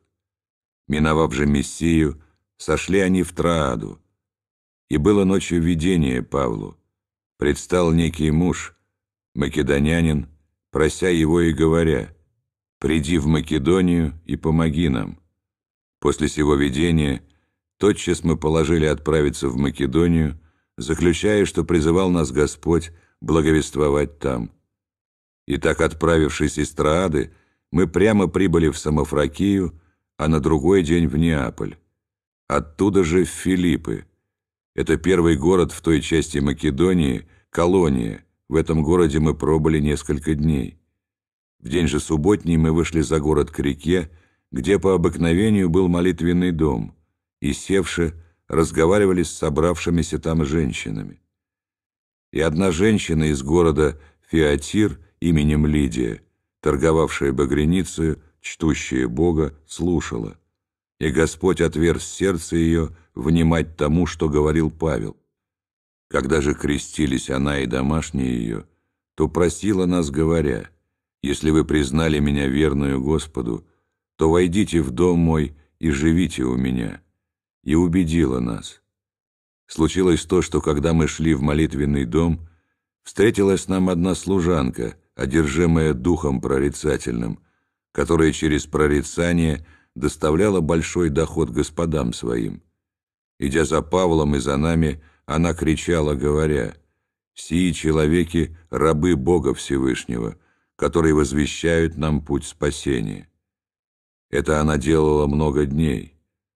Павел, вознегодовав, обратился и сказал духу, «Именем Иисуса Христа повелеваю тебе выйти из нее». И дух вышел в тот же час. Тогда господа ее, видя, что исчезла надежда дохода их, схватили Павла и Силу и повлекли на площадь к начальникам. И, приведшие их к воеводам, сказали, «Сии люди, будучи иудеями, возмущают наш город» и проповедуют обычаи, которых нам, римлянам, не следует ни принимать, ни исполнять. Народ также восстал на них, а воеводы, сорвавши с них одежды, велели бить их палками, и, давшие им много ударов, ввергли в темницу, приказавши темничному стражу крепко стеречь их. Получив такое приказание, он ввергнул их во внутреннюю темницу и ноги их забил в колоду. Около полуночи Павел и Сила, молясь, воспевали Бога. Узники же слушали их. Вдруг сделалось великое землетрясение, так что поколебалось основание темницы. Тотчас отворились все двери, и у всех узы ослабели. Темничный же страж, пробудившись и увидев, что двери темницы отворены, извлек меч и хотел умертвить себя, думая, что узники убежали. Но Павел возгласил громким голосом, говоря, «Не делай себе никакого зла, ибо все мы здесь». Он потребовал огня, вбежал в темницу и в трепете припал к Павлу и Силе. И, выведший их вон, сказал, «Государи мои, что мне делать, чтобы спастись?» Они же сказали, «Веруй в Господа Иисуса Христа, и спасешься ты и весь дом твой» и проповедали Слово Господне ему и всем, бывшим в доме его. И, взяв их в тот час ночи, он омыл раны их и немедленно крестился сам и все домашние его. И, приведший их в дом свой, предложил трапезу и возрадовался со всем домом своим, что уверовал в Бога. Когда же настал день, воеводы послали городских служителей сказать «Отпусти тех людей». Темничный страж объявил о сем Павлу. «Воеводы прислали отпустить вас, и так выйдите теперь и идите с миром». Но Павел сказал к ним, «Нас, римских граждан, без суда, всенародно били и бросили в темницу, а теперь тайно выпускают. Нет, пусть придут и сами выведут нас». Городские служители пересказали эти слова воеводам, и те испугались, услышавши, что это римские граждане и пришедшие извинились перед ними, и выведшие просили удалиться из города. Они же, вышедшие из темницы, пришли к Лидии и, увидевши братьев, поучали их и отправились.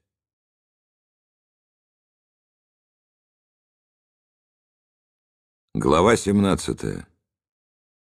Прошедшие через Амфиполь и Аполлонию, они пришли в Фессалонику, где была иудейская синагога, Павел по своему обыкновению вошел к ним и три субботы говорил с ними из Писаний, открывая и доказывая им, что Христу надлежало пострадать и воскреснуть из мертвых, и что сей Христос есть Иисус, которого я проповедую вам. И некоторые из них уверовали и присоединились к Павлу и Силе, как из еленов, чтущих Бога великое множество, так и из знатных женщин немало.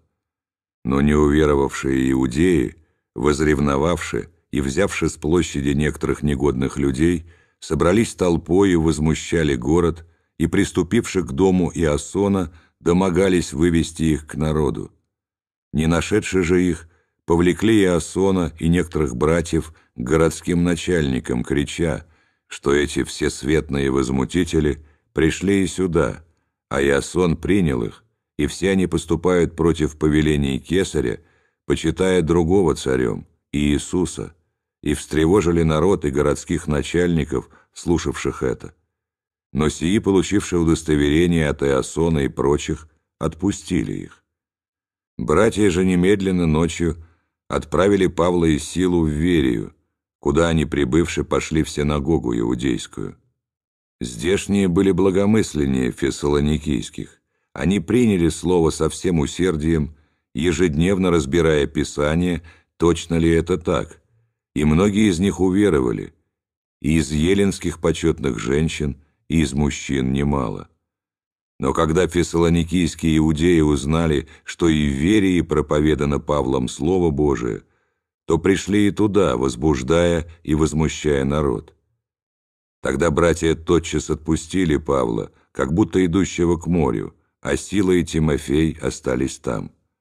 Сопровождавшие Павла проводили его до Афин, и, получивши приказание к Силе и Тимофею, чтобы они скорее пришли к нему, отправились. В ожидании их в Афинах Павел возмутился духом при виде этого города, полного идолов. И так он рассуждал в синагоге с иудеями и с чтущими Бога, и ежедневно на площади со встречающимися. Некоторые из эпикурейских и стоических философов стали спорить с ним, и одни говорили, что хочет сказать этот суеслов, а другие, кажется, он проповедует о чужих божествах, потому что он благовествовал им Иисуса и воскресение. И, взявшие его, привели в Ариапак и говорили, «Можем ли мы знать, что это за новое учение, проповедуемое тобою?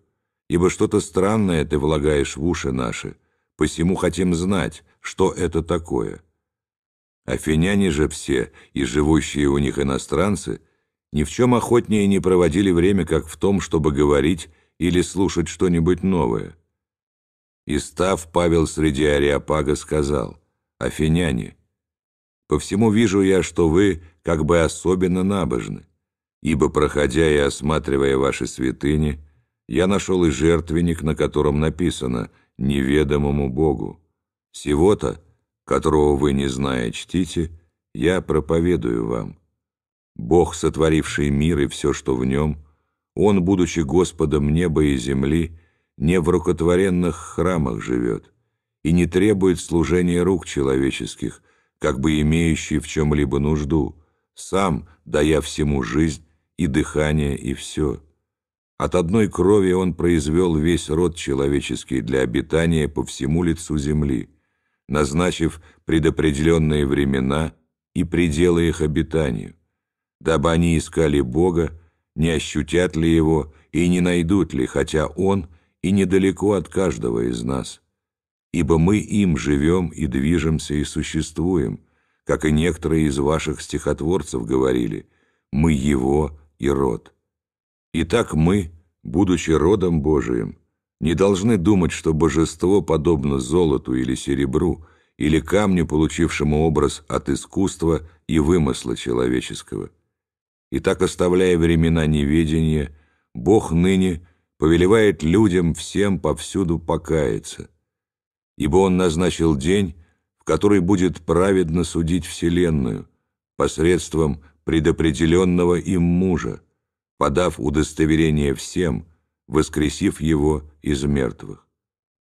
Услышавшие о воскресении мертвых, одни надсмехались, а другие говорили, «Об этом послушаем тебя в другое время». И так Павел вышел из среды их. Некоторые же мужи, приставшие к нему, уверовали. Между ними был Дионисий Ариапагит и женщина именем Дамарь, и другие с ними. Глава 18. После сего Павел, оставив Афины, пришел в Каринф. И нашед некоторого иудея имени Макилу, родом понтянина, недавно пришедшего из Италии, и Прескилу, жену его, потому что Клавдий повелел всем иудеям удалиться из Рима, пришел к ним и по одинаковости ремесла остался у них и работал, ибо ремеслом их было делание палаток. Во всякую же субботу он говорил в синагоге и убеждал иудеев и еленов. А когда пришли из Македонии Сила и Тимофей, то Павел понуждаем был духом свидетельствовать иудеям, что Иисус есть Христос. Но как они противились и злословили, то он, отрясший одежды свои, сказал к ним, «Кровь ваша на головах ваших, я чист, отныне иду к язычникам».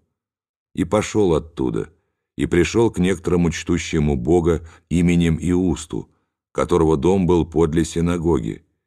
Крисп же, начальник синагоги, уверовал в Господа со всем домом своим. И многие из Коринфян, слушая, уверовали и крестились. Господь же в видении ночью сказал Павлу, «Не бойся, но говори и не умолкай, ибо я с тобою, и никто не сделает тебе зла, потому что у меня много людей в этом городе». И он оставался там год и шесть месяцев, поучая их Слову Божию. Между тем, во времена проконсульства Галиона в Ахаии напали иудеи единодушно на Павла и привели его пред судилище, говоря, что он учит людей чтить Бога не по закону. Когда же Павел хотел открыть уста, Галион сказал иудеям, «Иудеи, если бы какая-нибудь была обида или злой умысел, то я имел бы причину выслушать вас, но когда идет спор об учении и об именах и о законе вашем, то разбирайте сами, я не хочу быть судьей в этом» и прогнал их от судилища. А все елены, схватив со сфена начальника синагоги, били его перед судилищем, и Галион немало не беспокоился о том. Павел, пробыв еще довольно дней, простился с братьями и отплыл в Сирию, и с ним Макила и Прескила, остригши голову в кенхриях по обету. Достиг же Ефеса, оставил их там, а сам вошел в синагогу и рассуждал с иудеями. Когда же они просили его побыть у них долее, он не согласился, а простился с ними, сказав, «Мне нужно непременно провести приближающийся праздник в Иерусалиме. К вам же возвращусь опять, если будет угодно Богу». И отправился из Ефеса. Акила же и Прескила остались в Ефесе. Побывав в Кесарии, он приходил в Иерусалим, приветствовал церковь и отошел в Антиохию и, проведший там несколько времени, вышел и проходил по порядку страну Галатийскую и Фригию, утверждая всех учеников. Некто иудей именем Аполос, родом из Александрии, муж красноречивый и сведущий в Писаниях, пришел в Ефес. Он был наставлен в начатках пути Господня, и, горя духом, говорил и учил о Господе правильно, зная только крещение Иоаннова. Он начал смело говорить в синагоге. Услышавшие его Акила и Прескила приняли его и точнее объяснили ему путь Господень. А когда он вознамерился идти в Ахаию, то братья послали к тамошним ученикам, располагая их принять его. И он, прибыв туда, много содействовал уверовавшим благодатью, ибо он сильно опровергал иудеев всенародно, доказывая писаниями, что Иисус есть Христос.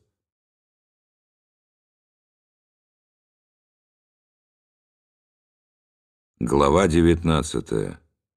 Во время пребывания Аполлоса в Коринфе Павел, прошед верхние страны, прибыл в Ефес и, нашед там некоторых учеников, сказал им, «Приняли ли вы Святаго Духа уверовавши?» Они же сказали ему, «Мы даже и не слыхали, есть ли Дух Святый». Он сказал им, «Во что же вы крестились?» Они отвечали, «Во Иоанново крещение». Павел сказал, Иоанн крестил крещением покаяния, говоря людям, чтобы веровали в грядущего по нем, то есть в Христа Иисуса.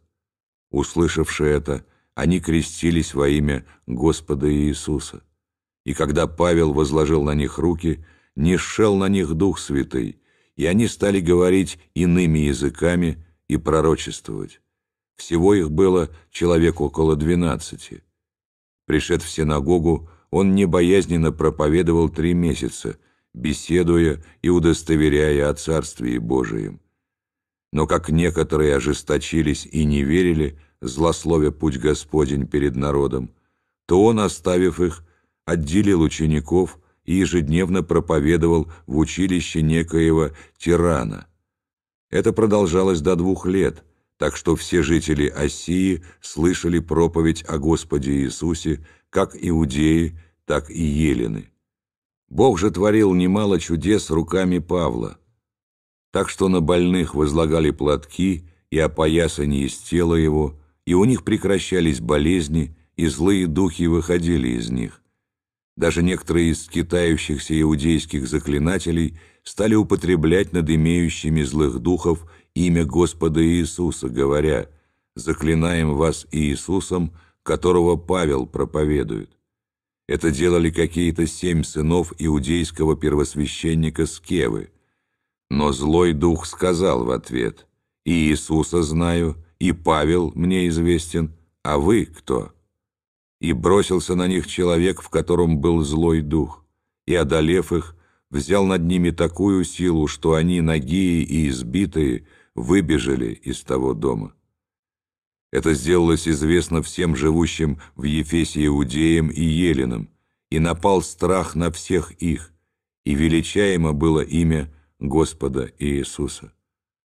Многие же из уверовавших приходили, исповедуя и открывая дела свои – а из занимавшихся чародейством довольно многие, собравшие книги свои, сожгли пред всеми и сложили цены их, и оказалось их на пятьдесят тысяч драхм.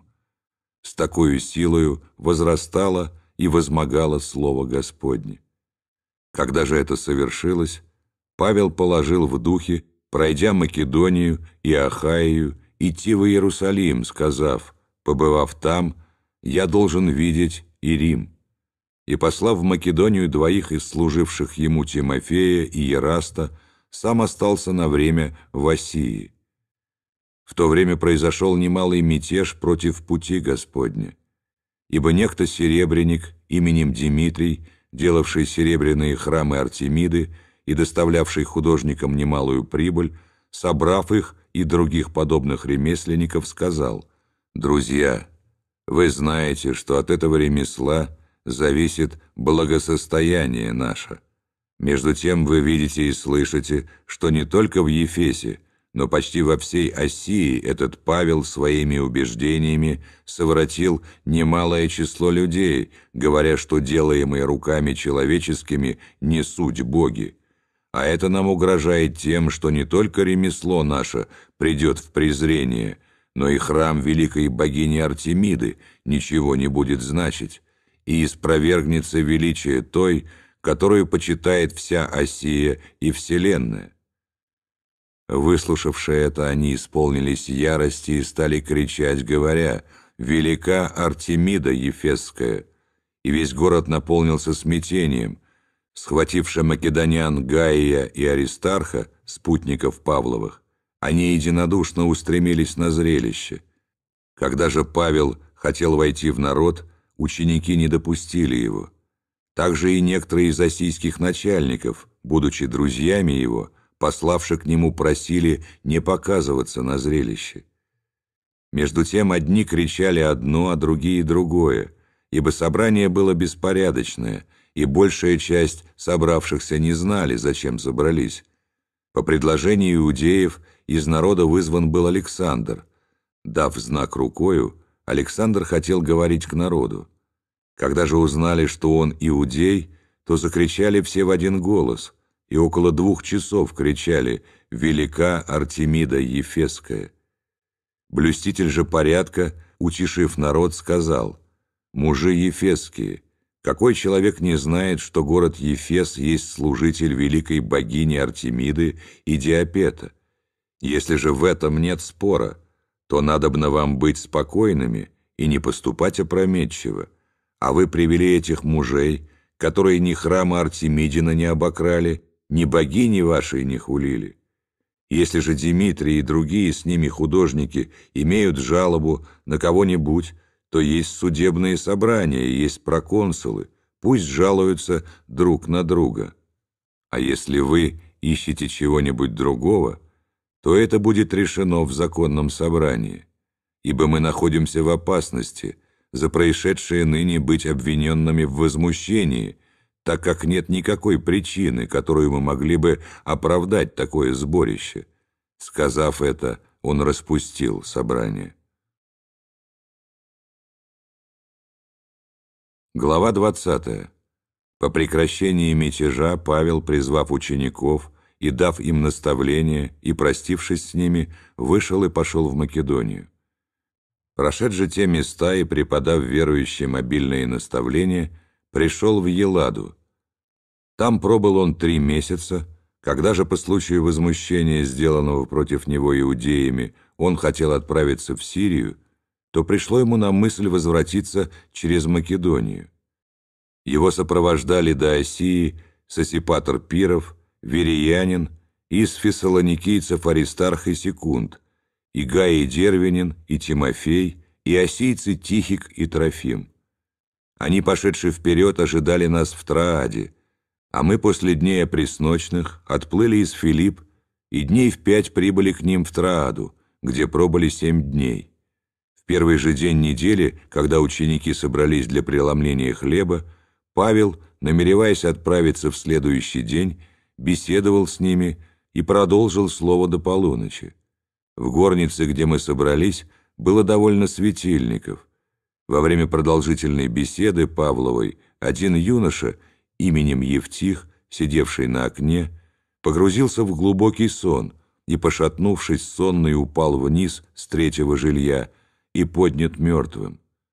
Павел Сашет пал на него и, обняв его, сказал, «Не тревожьтесь, ибо душа его в нем». Взошед же и, преломив хлеб и вкусив, беседовал довольно, даже до рассвета, и потом вышел.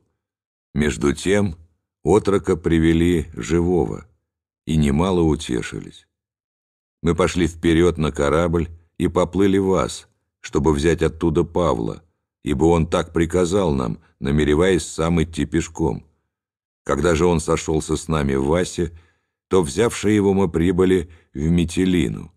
И, отплывши оттуда, в следующий день мы остановились против Хиоса, а на другой день пристали к Самосу и, побывавши в Трагилии, в следующий день прибыли в Мелит. Ибо Павлу рассудилось миновать Ефес, чтобы не замедлить ему в Осии, потому что он поспешал, если можно, в день Пятидесятницы быть в Иерусалиме. Из Мелита же, послав в Ефес, он призвал пресвитеров церкви, и когда они пришли к нему, он сказал им, «Вы знаете, как я с первого дня, в который пришел в Осию, все время был с вами, работая Господу со всяким смиренно-мудрием и многими слезами среди искушений, приключавшихся мне по злоумышлениям иудеев, как я не пропустил ничего полезного, о чем вам не проповедовал бы и чему не учил бы вас всенародные по домам, возвещая иудеям и еленам покаяние пред Богом и веру в Господа нашего Иисуса Христа. И вот ныне я по влечению Духа иду в Иерусалим, не зная, что там встретится со мною, только Дух Святый по всем городам свидетельствует, говоря, что узы и скорби ждут меня. Но я ни на что не взираю и не дорожу своей жизнью, только бы с радостью совершить поприще мое и служение, которое я принял от Господа Иисуса, проповедать Евангелие благодати Божией. И ныне вот я знаю, что уже не увидите лица моего все вы, между которыми ходил я, проповедуя Царствие Божие. Посему свидетельствую вам в нынешний день, что чист я от крови всех, ибо я не упускал возвещать вам всю волю Божию. Итак, внимайте себе и всему стаду, котором Дух Святый поставил вас блюстителями, пасти церковь Господа и Бога, которую Он приобрел себе кровью Своею. Ибо я знаю, что по отшествии моем войдут к вам лютые волки, нещадящие стадо, и из вас самих восстанут люди, которые будут говорить превратно, дабы увлечь учеников за собою. Посему бодрствуйте, памятуя, что я три года, день и ночь, непрестанно со слезами учил каждого из вас, и ныне предаю вас, братья, Богу и слову благодати Его, могущему назидать вас более и дать вам наследие со всеми освященными. Ни серебра, ни золота, ни одежды я ни от кого не пожелал. Сами знаете, что нуждам моим и нуждам бывших при мне послужили руки мои сии. Во всем показал я вам, что так трудясь, надобно поддерживать слабых и памятовать слова Господа Иисуса, ибо Он сам сказал, «Блаженнее давать, нежели принимать». Сказав это, Он преклонил колено свои и со всеми ими помолился. Тогда немалый плач был у всех, и, падая на выю Павла, целовали его. Скорбя особенно от сказанного им слова, что они уже не увидят лица его, и провожали его до корабля.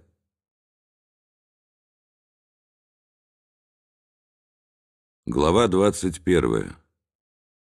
Когда же мы, расставшись с ними, отплыли, то прямо пришли в Кос, на другой день в Родос и оттуда в Патару. И нашедший корабль, идущий в Финикию, взошли на него и отплыли. Бывший в виду Кипра и оставивший его слева, мы плыли в Сирию и пристали в Тире, ибо тут надлежало сложить груз с корабля. И нашедшие учеников пробыли там семь дней. Они по внушению духа говорили Павлу, чтобы он не ходил в Иерусалим. Проведшие эти дни, мы вышли и пошли, и нас провожали все с женами и детьми даже за город. А на берегу, преклонивши колени, помолились. И, простившись друг с другом, мы вошли в корабль, а они возвратились домой. Мы же, совершивши плавание, прибыли из Тира в Птолемаиду, где, приветствовавши братьев, пробыли у них один день, а на другой день Павел и мы, бывшие с ним, вышедшие пришли в Кесарию и, вшедшие в дом Филиппа Благовестника, одного из семи диаконов, остались у него. У него были четыре дочери, девицы, пророчествующие. Между тем, как мы пребывали у них многие дни, пришел из Иудеи некто пророк именем Агав, и, вошед к нам, взял пояс Павлов и, связав себе руки и ноги, сказал, «Так говорит Дух Святый, мужа, чей этот пояс, так свяжут в Иерусалиме иудеи и предадут в руки язычников». Когда же мы услышали это, то и мы, и тамошние просили, чтобы он не ходил в Иерусалим. Но Павел в ответ сказал, «Что вы делаете? Что плачете и сокрушаете сердце мое? Я не только хочу быть узником, но готов умереть в Иерусалиме за имя Господа Иисуса». Когда же мы не могли уговорить его, то успокоились, сказавши, «Да будет воля Господня». После сих дней, приготовившись, пошли мы в Иерусалим. С нами шли и некоторые ученики из Кесарии, провожая нас к некоему давнему ученику, Мнасану Кипринину, у которого можно было бы нам жить. По прибытии нашим в Иерусалим братья радушно приняли нас. На другой день Павел пришел с нами к Иакову, пришли и все пресвитеры. Приветствовав их, Павел рассказал подробно, что сотворил Бог у язычников служением Его. Они же, выслушавши, прославили Бога и сказали Ему, «Видишь, брат, сколько тысяч уверовавших иудеев, и все они ревнители закона. А о тебе наслышались они, что ты всех иудеев, живущих между язычниками, учишь отступлению от Моисея, говоря, чтобы они не обрезывали детей своих и не поступали по обычаям, Итак, что же? Верно соберется народ, ибо услышат, что ты пришел. Сделай же, что мы скажем тебе. Есть у нас четыре человека, имеющие на себе обед. Взяв их, очистись с ними и возьми на себя издержки на жертву за них, чтобы остригли себе голову, и узнают все, что слышанное ими о тебе несправедливо, но что и сам ты продолжаешь соблюдать закон а об уверовавших язычниках мы писали, положивши, чтобы они ничего такого не наблюдали, а только хранили себя от идола жертвенного, от крови, от удавленины и от блуда. Тогда Павел, взяв тех мужей и очистившись с ними, в следующий день вошел в храм и объявил окончание дней очищения, когда должно быть принесено за каждого из них приношение. Когда же семь дней оканчивались, тогда осийские иудеи, увидевшие его в храме, возмутили весь народ и наложили на него руки, крича, «Мужи израильские, помогите! Этот человек всех повсюду учит против народа и закона и места сего. Притом и Еленов ввел в храм и осквернил святое место сие. Ибо перед тем они видели с ним в городе Трофима Ефесянина и думали, что Павел его ввел в храм. Весь город пришел в движение, и сделалось стечение народа, и, схвативши Павла, повлекли его вон из храма, и тотчас заперты были двери. Когда же они хотели убить его, до тысяченачальника полка дошла весть, что весь Иерусалим возмутился. Он, тотчас взяв воинов и сотников, устремился на них. Они же, увидевши тысяченачальника и воинов, перестали бить Павла. Тогда тысяченачальник, приблизившись, взял его и велел сковать двумя цепями, и спрашивал, кто он и что сделал. В народе одни кричали одно, а другие другое. Он же, не могши по причине смятения узнать ничего верного, повелел вести его в крепость. Когда же он был на лестнице, то воинам пришлось нести его по причине стеснения от народа, ибо множество народа следовало и кричало «Смерть ему!». При входе в крепость Павел сказал тысяченачальнику «Можно ли мне сказать тебе нечто?» А тот сказал «Ты знаешь по-гречески?» Так не ты ли тот египтянин, который перед семи днями произвел возмущение и вывел в пустыню четыре тысячи человек разбойников? Павел же сказал, «Я иудеянин, торсянин, гражданин небезызвестного киликийского города. Прошу тебя, позволь мне говорить к народу». Когда же тот позволил, Павел, стоя на лестнице, дал знак рукою народу, и когда сделалось глубокое молчание, начал говорить на еврейском языке так. Глава 22. Мужи, братья и отцы, выслушайте теперь мое оправдание перед вами. Услышав же, что он заговорил с ними на еврейском языке, они еще более утихли. Он сказал, «Я иудеянин, родившийся в Тарсе Киликийском, воспитанный в всем городе при ногах Гамалиила, тщательно наставленный в отеческом законе, ревнитель по Боге, как и все вы ныне, я даже до смерти гнал последователей всего учения, связывая и предавая в темницу и мужчин, и женщин. Как засвидетельствует о мне первосвященник и все старейшины, от которых и письма взяв к братьям, живущим в Дамаске, я шел, чтобы тамошних привести в оковах в Иерусалим на истязание. Когда же я был в пути и приближался к Дамаску, около полудня вдруг осиял меня великий свет с неба. Я упал на землю и услышал голос, говоривший мне, «Савл, Савл, что ты гонишь меня?» Я отвечал, «Кто ты, Господи?» Он сказал мне, «Я Иисус Назарей, которого ты гонишь». Бывшие же со мною свет видели и пришли в страх, но голоса, говорившего мне, не слышали. Тогда я сказал, «Господи, что мне делать?» Господь же сказал мне, «Встань и иди в Дамаск, и там тебе сказано будет все, что назначено тебе делать». А как я от славы света того лишился зрения, то бывшие со мною за руку привели меня в Дамаск. Некто Анания, муж благочестивый, по закону одобряемый всеми иудеями, живущими в Дамаске, пришел ко мне и подошед сказал мне, «Брат Савол, прозри». И я тотчас увидел его. Он же сказал мне, «Бог отцов наших предизбрал тебя, чтобы ты познал волю Его, увидел праведника и услышал глаз из уст Его. Потому что ты будешь Ему свидетелем пред всеми людьми о том, что ты видел и слышал. Итак, что ты медлишь? Встань, крестись и омой грехи твои, призвав имя Господа Иисуса. Когда же я возвратился в Иерусалим и молился в храме, пришел я в выступление и увидел его, и он сказал мне, «Поспеши и выйди скорее из Иерусалима, потому что здесь не примут твоего свидетельства о мне». Я сказал, «Господи, им известно, что я верующих в Тебя заключал в темнице и бил в синагогах. И когда проливалась кровь Стефана, свидетеля Твоего, я там стоял, одобрял убиение его и стерег одежды побивавших его. И он сказал мне, «Иди, я пошлю тебя далеко, к язычникам». До этого слова слушали его, а засим подняли крик, говоря, «Истреби от земли такого, ибо ему не должно жить».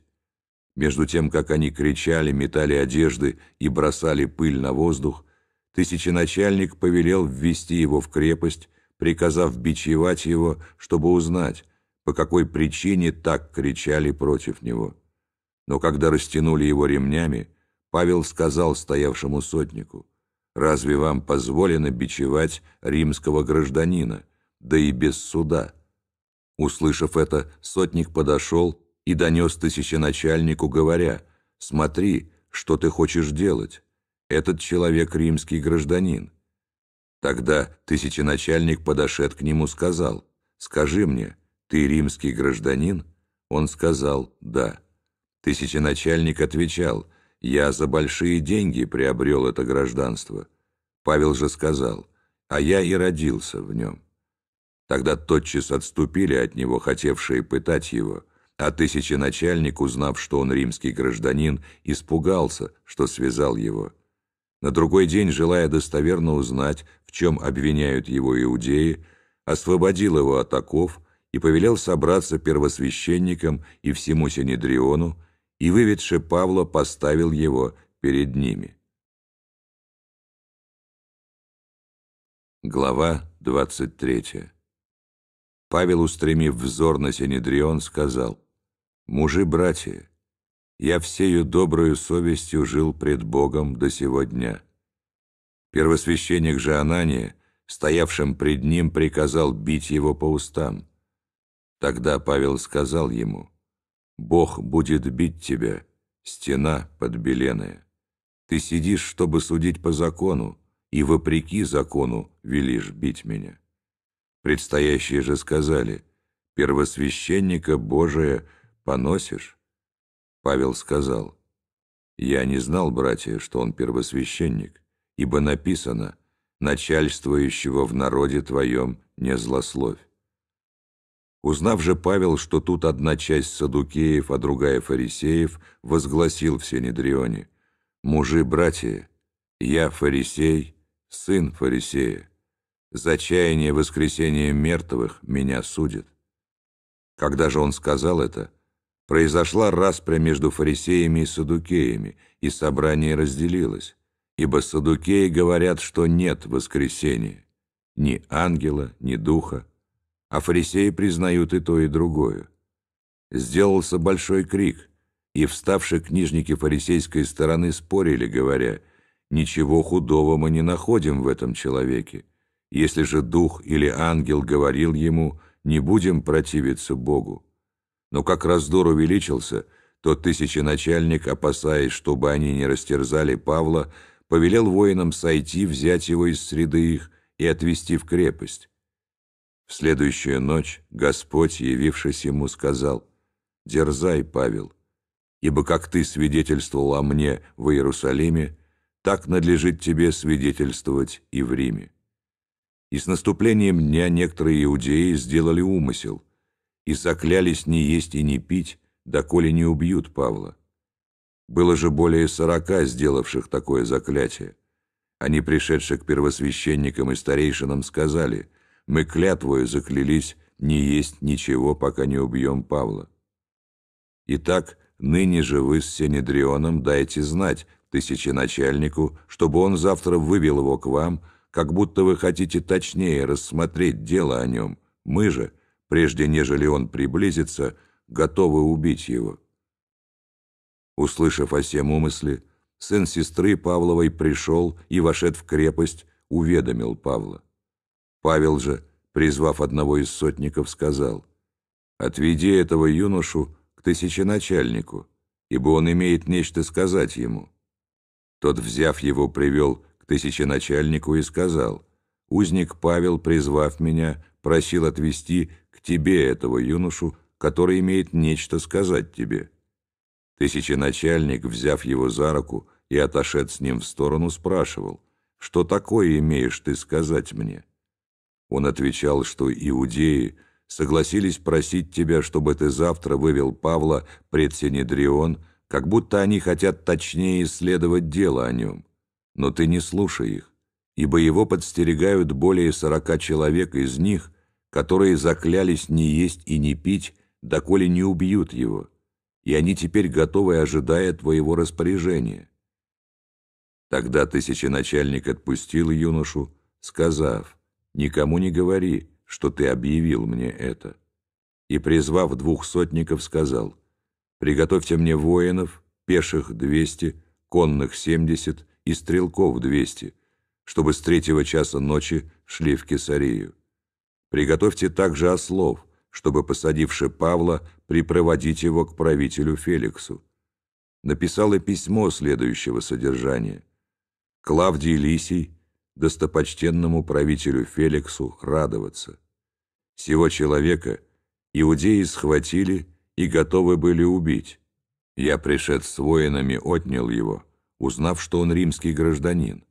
Потом, желая узнать, в чем обвиняли его, привел его в Синедрион их и нашел, что его обвиняют в спорных мнениях, касающихся закона их, но что нет в нем никакой вины, достойной смерти или оков. А когда меня дошло, что иудеи злоумышляют на этого человека, то я немедленно послал его к тебе, приказав и обвинителям говорить на него пред тобою, будь здоров. Итак, воины по данному им приказанию, взявши Павла, повели ночью в Антипатриду, а на другой день, предоставивши конным идти с ним, возвратились в крепость. А те, пришедшие в Кесарию и отдавши письмо правителю, представили ему и Павла. Правитель, прочитав письмо, спросил, из какой он области – и, узнав, что из Киликии, сказал, «Я выслушаю тебя, когда явятся твои обвинители», и повелел ему быть под стражею в Иродовой притории. Глава 24. Через пять дней пришел первосвященник Анания со старейшинами и с некоторым ритором Тертулом, которые жаловались правителю на Павла. Когда же он был призван, то Тертул начал обвинять его, говоря, «Всегда и везде, со всякою благодарностью, признаем мы, что тебе, достопочтенный Феликс, обязаны мы многим миром и твоему попечению благоустроением всего народа.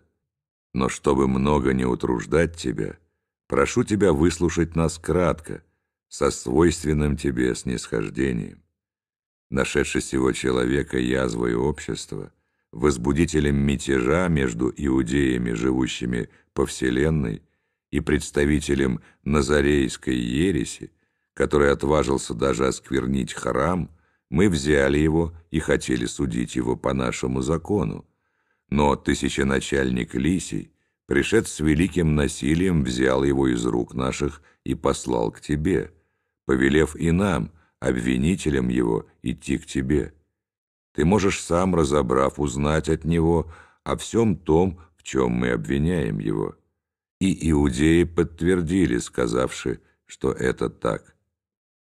Павел же, когда правитель дал ему знак говорить, отвечал, «Знаю, что ты многие годы справедливо судишь народ сей, я тем свободнее буду защищать мое дело. Ты можешь узнать, что не более двенадцати дней тому, как я пришел в Иерусалим для поклонения. И ни в святилище, ни в синагогах, ни по городу они не находили меня с кем-либо спорящим или производящим народное возмущение, и не могут доказать того, в чем теперь обвиняют меня. Но в том признаюсь тебе, что по учению, которое они называют ересью, я действительно служу Богу отцов моих, веруя всему написанному в законе и пророках, имея надежду на Бога, что будет воскресение мертвых, праведных и неправедных, чего и сами они ожидают. Посему и сам подвязаюсь всегда иметь непорочную совесть пред Богом и людьми. После многих лет я пришел, чтобы доставить милостыню народу моему и приношение. При всем нашли меня, очистившегося в храме, не с народом и не с шумом. Это были некоторые осийские иудеи, которым надлежало бы предстать пред тебя и обвинить меня, если что имеют против меня. Или пусть и самые скажут, какую нашли они во мне неправду, когда я стоял пред Синедрионом. Разве только то одно слово, которое громко произнес я, стоя между ними, что за учение о воскресении мертвых я ныне судим вами». Выслушав это, Феликс отсрочил дело их, сказав, «Рассмотрю ваше дело, когда придет тысяченачальник Лисий, и я обстоятельно узнаю об этом учении». А Павла приказал сотнику стеречь, но не стеснять его, и не запрещать никому из его близких служить ему или приходить к нему. Через несколько дней Феликс, пришед с Друзилою, женою своею, иудеенкою, призвал Павла и слушал его о вере во Христа и Иисуса. И как он говорил о правде, о воздержании и о будущем суде, то Феликс пришел в страх и отвечал, «Теперь пойди, а когда найду время, позову тебя». При том же надеялся он, что Павел даст ему денег, чтобы отпустил его. Посему часто призывал его и беседовал с ним. Но по прошествии двух лет на место Феликса поступил Порций Фест. Желая доставить удовольствие иудеям, Феликс оставил Павла в узах. Глава двадцать пятая. Фест, прибыв в область через три дня, отправился из Кесарии в Иерусалим. Тогда первосвященник и знатнейший из иудеев явились к нему с жалобою на Павла и убеждали его, прося, чтобы он сделал милость, вызвал его в Иерусалим и злоумышляли убить его на дороге. Но Фест отвечал, что Павел содержится в Кесарии под стражею и что он сам скоро отправится туда. «И так сказал он, которые из вас могут, Пусть пойдут со мною, и если есть что-нибудь за этим человеком, пусть обвиняют его». Пробыв же у них не больше восьми или десяти дней, возвратился в Кесарию и на другой день, сев на судейское место, повелел привести Павла. Когда он явился, стали кругом пришедшие из Иерусалима иудеи, принося на Павла многие тяжкие обвинения, которых не могли доказать. Он же в оправдание свое сказал, «Я не сделал никакого преступления ни против закона иудейского, ни против храма, ни против кесаря». Фест, желая сделать угождение иудеям, сказал в ответ Павлу, «Хочешь ли идти в Иерусалим, чтобы я там судил тебя в этом?» Павел сказал, «Я стою пред судом Кесаревым, где мне и следует быть судиму. Иудеев я ничем не обидел, как и ты хорошо знаешь. Ибо если я не прав и сделал что-нибудь достойное смерти, то не отрекаюсь умереть. А если ничего того нет, в чем сии обвиняют меня, то никто не может выдать меня им. Требую суда Кесарева». Тогда Фест, поговорив с советом, отвечал, «Ты потребовал суда Кесарева. Кесареве отправишься. Через несколько дней царь Агриппа и Вереника прибыли в Кесарию поздравить Феста. И как они провели там много дней, то Фест предложил царю дело Павлова, говоря, «Здесь есть человек, оставленный Феликсом в узах, на которого в бытность мою в Иерусалиме с жалобою явились первосвященники и старейшины иудейские, требуя осуждения его». Я отвечал им, что у римлян нет обыкновения выдавать какого-нибудь человека на смерть, прежде нежели обвиняемый будет иметь обвинителей на лицо и получит свободу защищаться против обвинения. Когда же они пришли сюда, то без всякого отлагательства на другой же день сел я на судейское место и повелел привести того человека. Обступившие его обвинители не представили ни одного из обвинений, какие я предполагал. Но они имели некоторые споры с ним об их богопочитании и о каком-то Иисусе умершем, о котором Павел утверждал, что он жив. Затрудняясь в решении этого вопроса, я сказал, хочет ли он идти в Иерусалим и там быть судим в этом. Но как Павел потребовал, чтобы он оставлен был на рассмотрение Августова, то я велел содержать его под стражей до тех пор, как пошлю его к кесарю. Агриппа же сказал Фесту, «Хотел бы и я послушать этого человека. Завтра же, — отвечал тот, — услышишь его». На другой день, когда Агриппа и Вереника пришли с великой пышностью и вошли в судебную палату с тысяченачальниками и знатнейшими гражданами, по приказанию Феста приведен был Павел.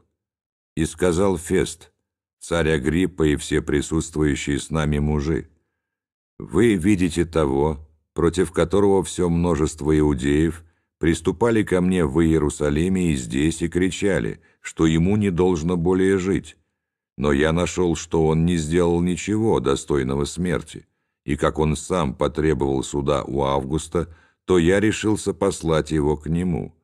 Я не имею ничего верного написать о нем государю, посему привел его пред вас, и особенно пред тебя, царь Агриппа, дабы по рассмотрении было мне что написать, ибо мне кажется нерассудительно посылать узника и не показать обвинений на него». Глава 26. Агриппа сказал Павлу, «Позволяется тебе говорить за себя». Тогда Павел, простерши руку, стал говорить в свою защиту. «Царь Агриппа, почитаю себя счастливым, что сегодня могу защищаться пред тобою во всем, в чем обвиняют меня иудеи. Тем более, что ты знаешь все обычаи и спорные мнения иудеев. Посему прошу тебя выслушать меня великодушно. Жизнь мою от юности моей, которую сначала проводил я среди народа моего в Иерусалиме, знают все иудеи. Они издавна знают обо мне, если захотят свидетельствовать, что я жил фарисеем по в нашем вероисповедании учению. И ныне я стою пред судом за надежду на обетование, данное от Бога нашим отцам, которого исполнение надеются увидеть наши двенадцать колен, усердно служа Богу день и ночь. За сию-то надежду, царь Агриппа, обвиняют меня иудеи. Что же, неужели вы невероятным почитаете, что Бог воскрешает мертвых? Правда, и я думал, что мне должно много действовать против имени Иисуса Назарея. Это я и делал в Иерусалиме. Получив власть от первосвященников, я многих святых заключал в темнице, и когда убивали их, я подавал на то голос. И по всем синагогам я многократно мучил их и принуждал хулить Иисуса, и в чрезмерной против них ярости преследовал даже и в чужих городах. Для сего, идя в Дамаск со властью и поручением от первосвященников, среди дня на дороге я увидел, государь, с неба свет, превосходящий солнечное сияние, осиявший меня и шедших со мною. Все мы упали на землю, и я услышал голос, говоривший мне на еврейском языке – «Савол, Савол, что ты гонишь меня? Трудно тебе идти против рожна». Я сказал, «Кто ты, Господи?» Он сказал, «Я Иисус, которого ты гонишь. Но встань и стань на ноги твои, ибо я для того и явился тебе, чтобы поставить тебя служителем и свидетелем того, что ты видел, и что я открою тебе, избавляя тебя от народа иудейского и от язычников, которым я теперь посылаю тебя, открыть глаза им, чтобы они обратились от тьмы к свету и от власти сатаны к Богу, и, верою в меня, получили прощение грехов и жребий со священными.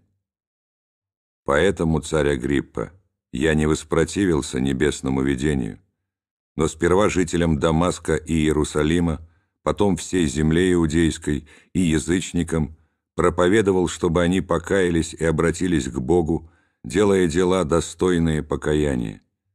За это схватили меня иудеи в храме и покушались растерзать.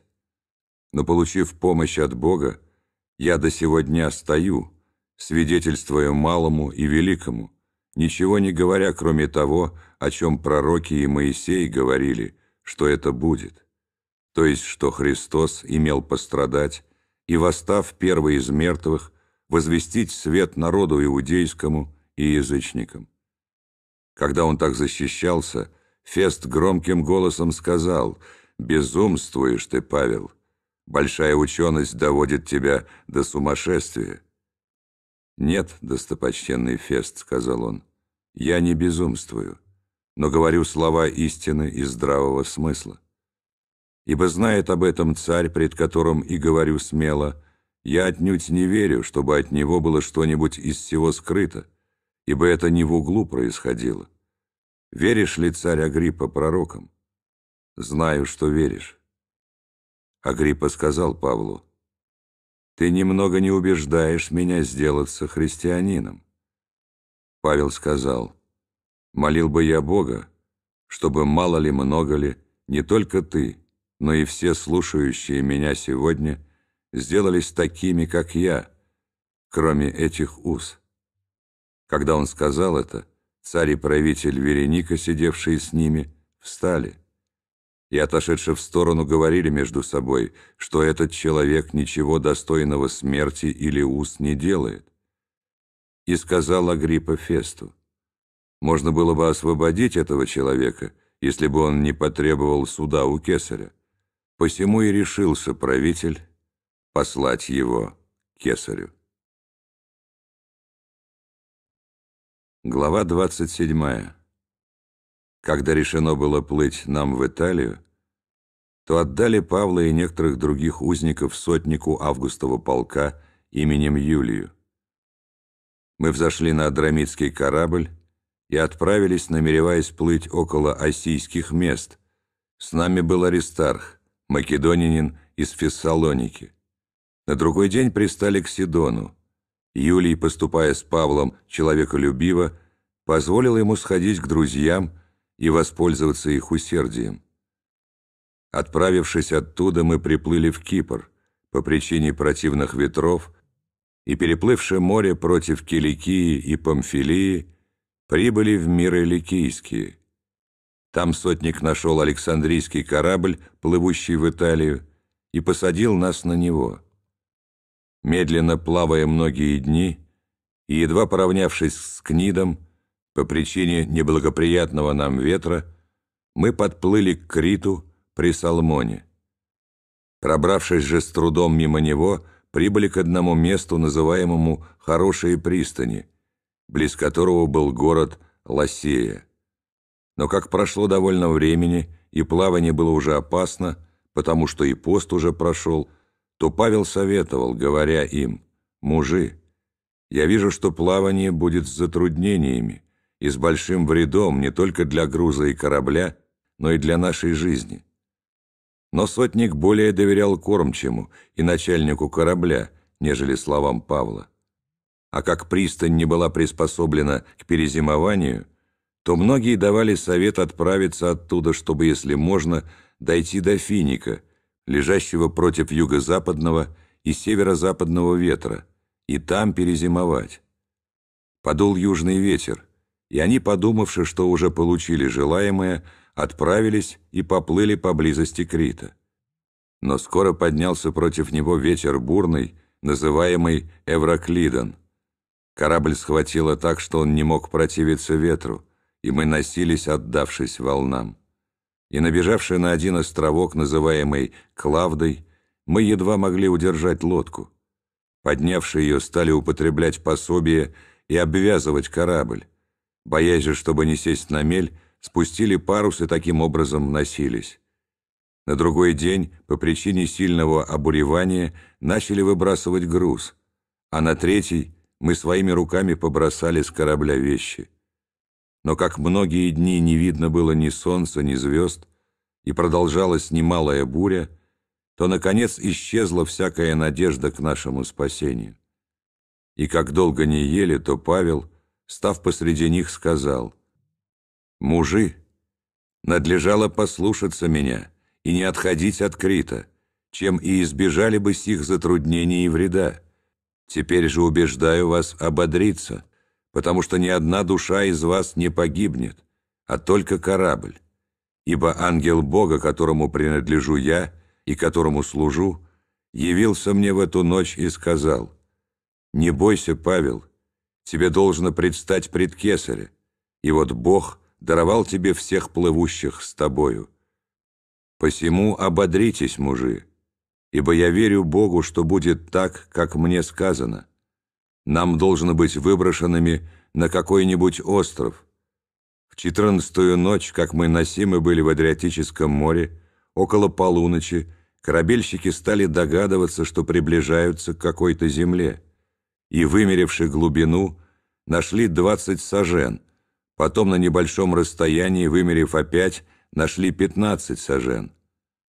Опасаясь, чтобы не попасть на каменистые места, бросили с кормы четыре якоря и ожидали дня.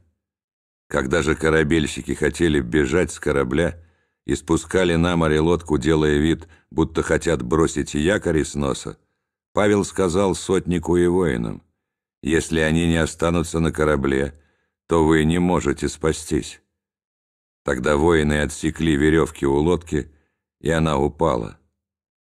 Перед наступлением дня Павел уговаривал всех принять пищу, говоря, «Сегодня четырнадцатый день, как вы в ожидании остаетесь без пищи, не вкушая ничего. Потому прошу вас принять пищу. Это послужит к сохранению вашей жизни, ибо ни у кого из вас не пропадет волос с головы». Сказав это и взяв хлеб, он возблагодарил Бога пред всеми и, разломив, начал есть. Тогда все ободрились и также приняли пищу. Было же всех нас на корабле 276 душ. Насытившись же пищей, стали облегчать корабль, выкидывая пшеницу в море. Когда настал день, земли не узнавали, а усмотрели только некоторый залив, имеющий отлогий берег, к которому и решились, если можно, пристать с кораблем, и, поднявшие якори, пошли по морю, и, развязавши рули и поднявши малый парус по ветру, держали к берегу. Попали на косу, и корабль сел на мель. Нос увяз и остался недвижим, а корма разбивалась силою волн. Воины согласились было умертвить узников, чтобы кто-нибудь, выплыв, не убежал. Но сотник, желая спасти Павла, удержал их от всего намерения и велел умеющим плавать первым броситься и выйти на землю. Прочим же спасаться кому на досках, а кому на чем-нибудь от корабля. И таким образом все спаслись на землю. Глава 28. Спасшись же, бывшие с Павлом, узнали, что остров называется Мелит. Иноплеменники оказали нам немалое человеколюбие ибо они по причине бывшего дождя и холода разложили огонь и приняли всех нас. Когда же Павел набрал множество хвороста и клал на огонь, тогда ехидно вышедшая от жара повисла на руке его. И наплеменники, когда увидели висящую на руке его змею, говорили друг другу, «Верно, этот человек убийца, когда его, спасшегося от моря, суд Божий не оставляет жить». Но он, встряхнув змею в огонь, не потерпел никакого вреда. Они ожидали было, что у него будет воспаление, или он внезапно упадет мертвым. Но, ожидая долго и видя, что не случилось с ним никакой беды, переменили мысли и говорили, что он Бог. Около того места были поместья начальника острова именем Публия. Он принял нас и три дня дружелюбно угощал. Отец Публия лежал, страдая горячкою и болью в животе. Павел вошел к нему, помолился и, возложив на него руки свои, исцелил его. После сего события и прочие на острове, имевшие болезни, приходили и были исцеляемы. И оказывали нам много почести, и при отъезде снабдили нужным. Через три месяца мы отплыли на Александрийском корабле, называемом «Диаскуры», зимовавшим на том острове. и, приплывши в Сиракузы, пробыли там три дня. Оттуда отплывши, прибыли в Ригию, и как через день подул южный ветер, прибыли на второй день в Путиол, где нашли братьев и были упрошены пробыть у них семь дней, а потом пошли в Рим. Тамошние братья, услышавши о нас, вышли нам навстречу до Апиевой площади и трех гостиниц. Увидев их, Павел возблагодарил Бога и ободрился. Когда же пришли мы в Рим, то сотник передал узников военачальнику, а Павлу позволено жить особо с воином, стерегущим его. Через три дня Павел созвал знатнейших из иудеев, и когда они сошлись, говорил им, «Мужи-братья, не сделав ничего против народа или отеческих обычаев, я в узах из Иерусалима предан в руки римлян. Они, судившие меня, хотели освободить, потому что нет во мне никакой вины, достойной смерти. Но так как иудеи противоречили, то я принужден был потребовать суда у кесаря, Впрочем, не с тем, чтобы обвинить в чем-либо мой народ. По этой причине я и призвал вас, чтобы увидеться и поговорить с вами, ибо за надежду Израилеву обложен я этими узами». Они же сказали ему, «Мы ни писем не получали о тебе из Иудеи, ни из приходящих братьев никто не известил о тебе и не сказал чего-либо худого. Впрочем, желательно нам слышать от тебя, как ты мыслишь, ибо известно нам, что об этом учении везде спорят. И, назначивший ему день, очень многие пришли к нему в гостиницу, и он от утра до вечера излагал им учение о Царствии Божием, приводя свидетельства и удостоверяя их об Иисусе из закона Моисеева и пророков. Одни убеждались словами его, а другие не верили. Будучи же не согласны между собою, они уходили, когда Павел сказал следующие слова. «Хорошо Дух Святый сказал отцам нашим через пророка Исаию, «Пойди к народу сему и скажи, слухом услышите и не уразумеете, и очами смотреть будете и не увидите, ибо огрубело сердце людей сих, и ушами с трудом слышат, и очи свои сомкнули, да не узрят очами и не услышат ушами, и не уразумеют сердцем, и не обратятся, чтобы я исцелил их. Итак, да будет вам известно, что спасение Божие послано язычникам, они и услышат. Когда он сказал это, иудеи ушли, много споря между собою. И жил Павел целых два года на своем иждивении и принимал всех приходивших к нему, проповедуя Царствие Божие и уча о Господе Иисусе Христе со всяким дерзновением невозбранно.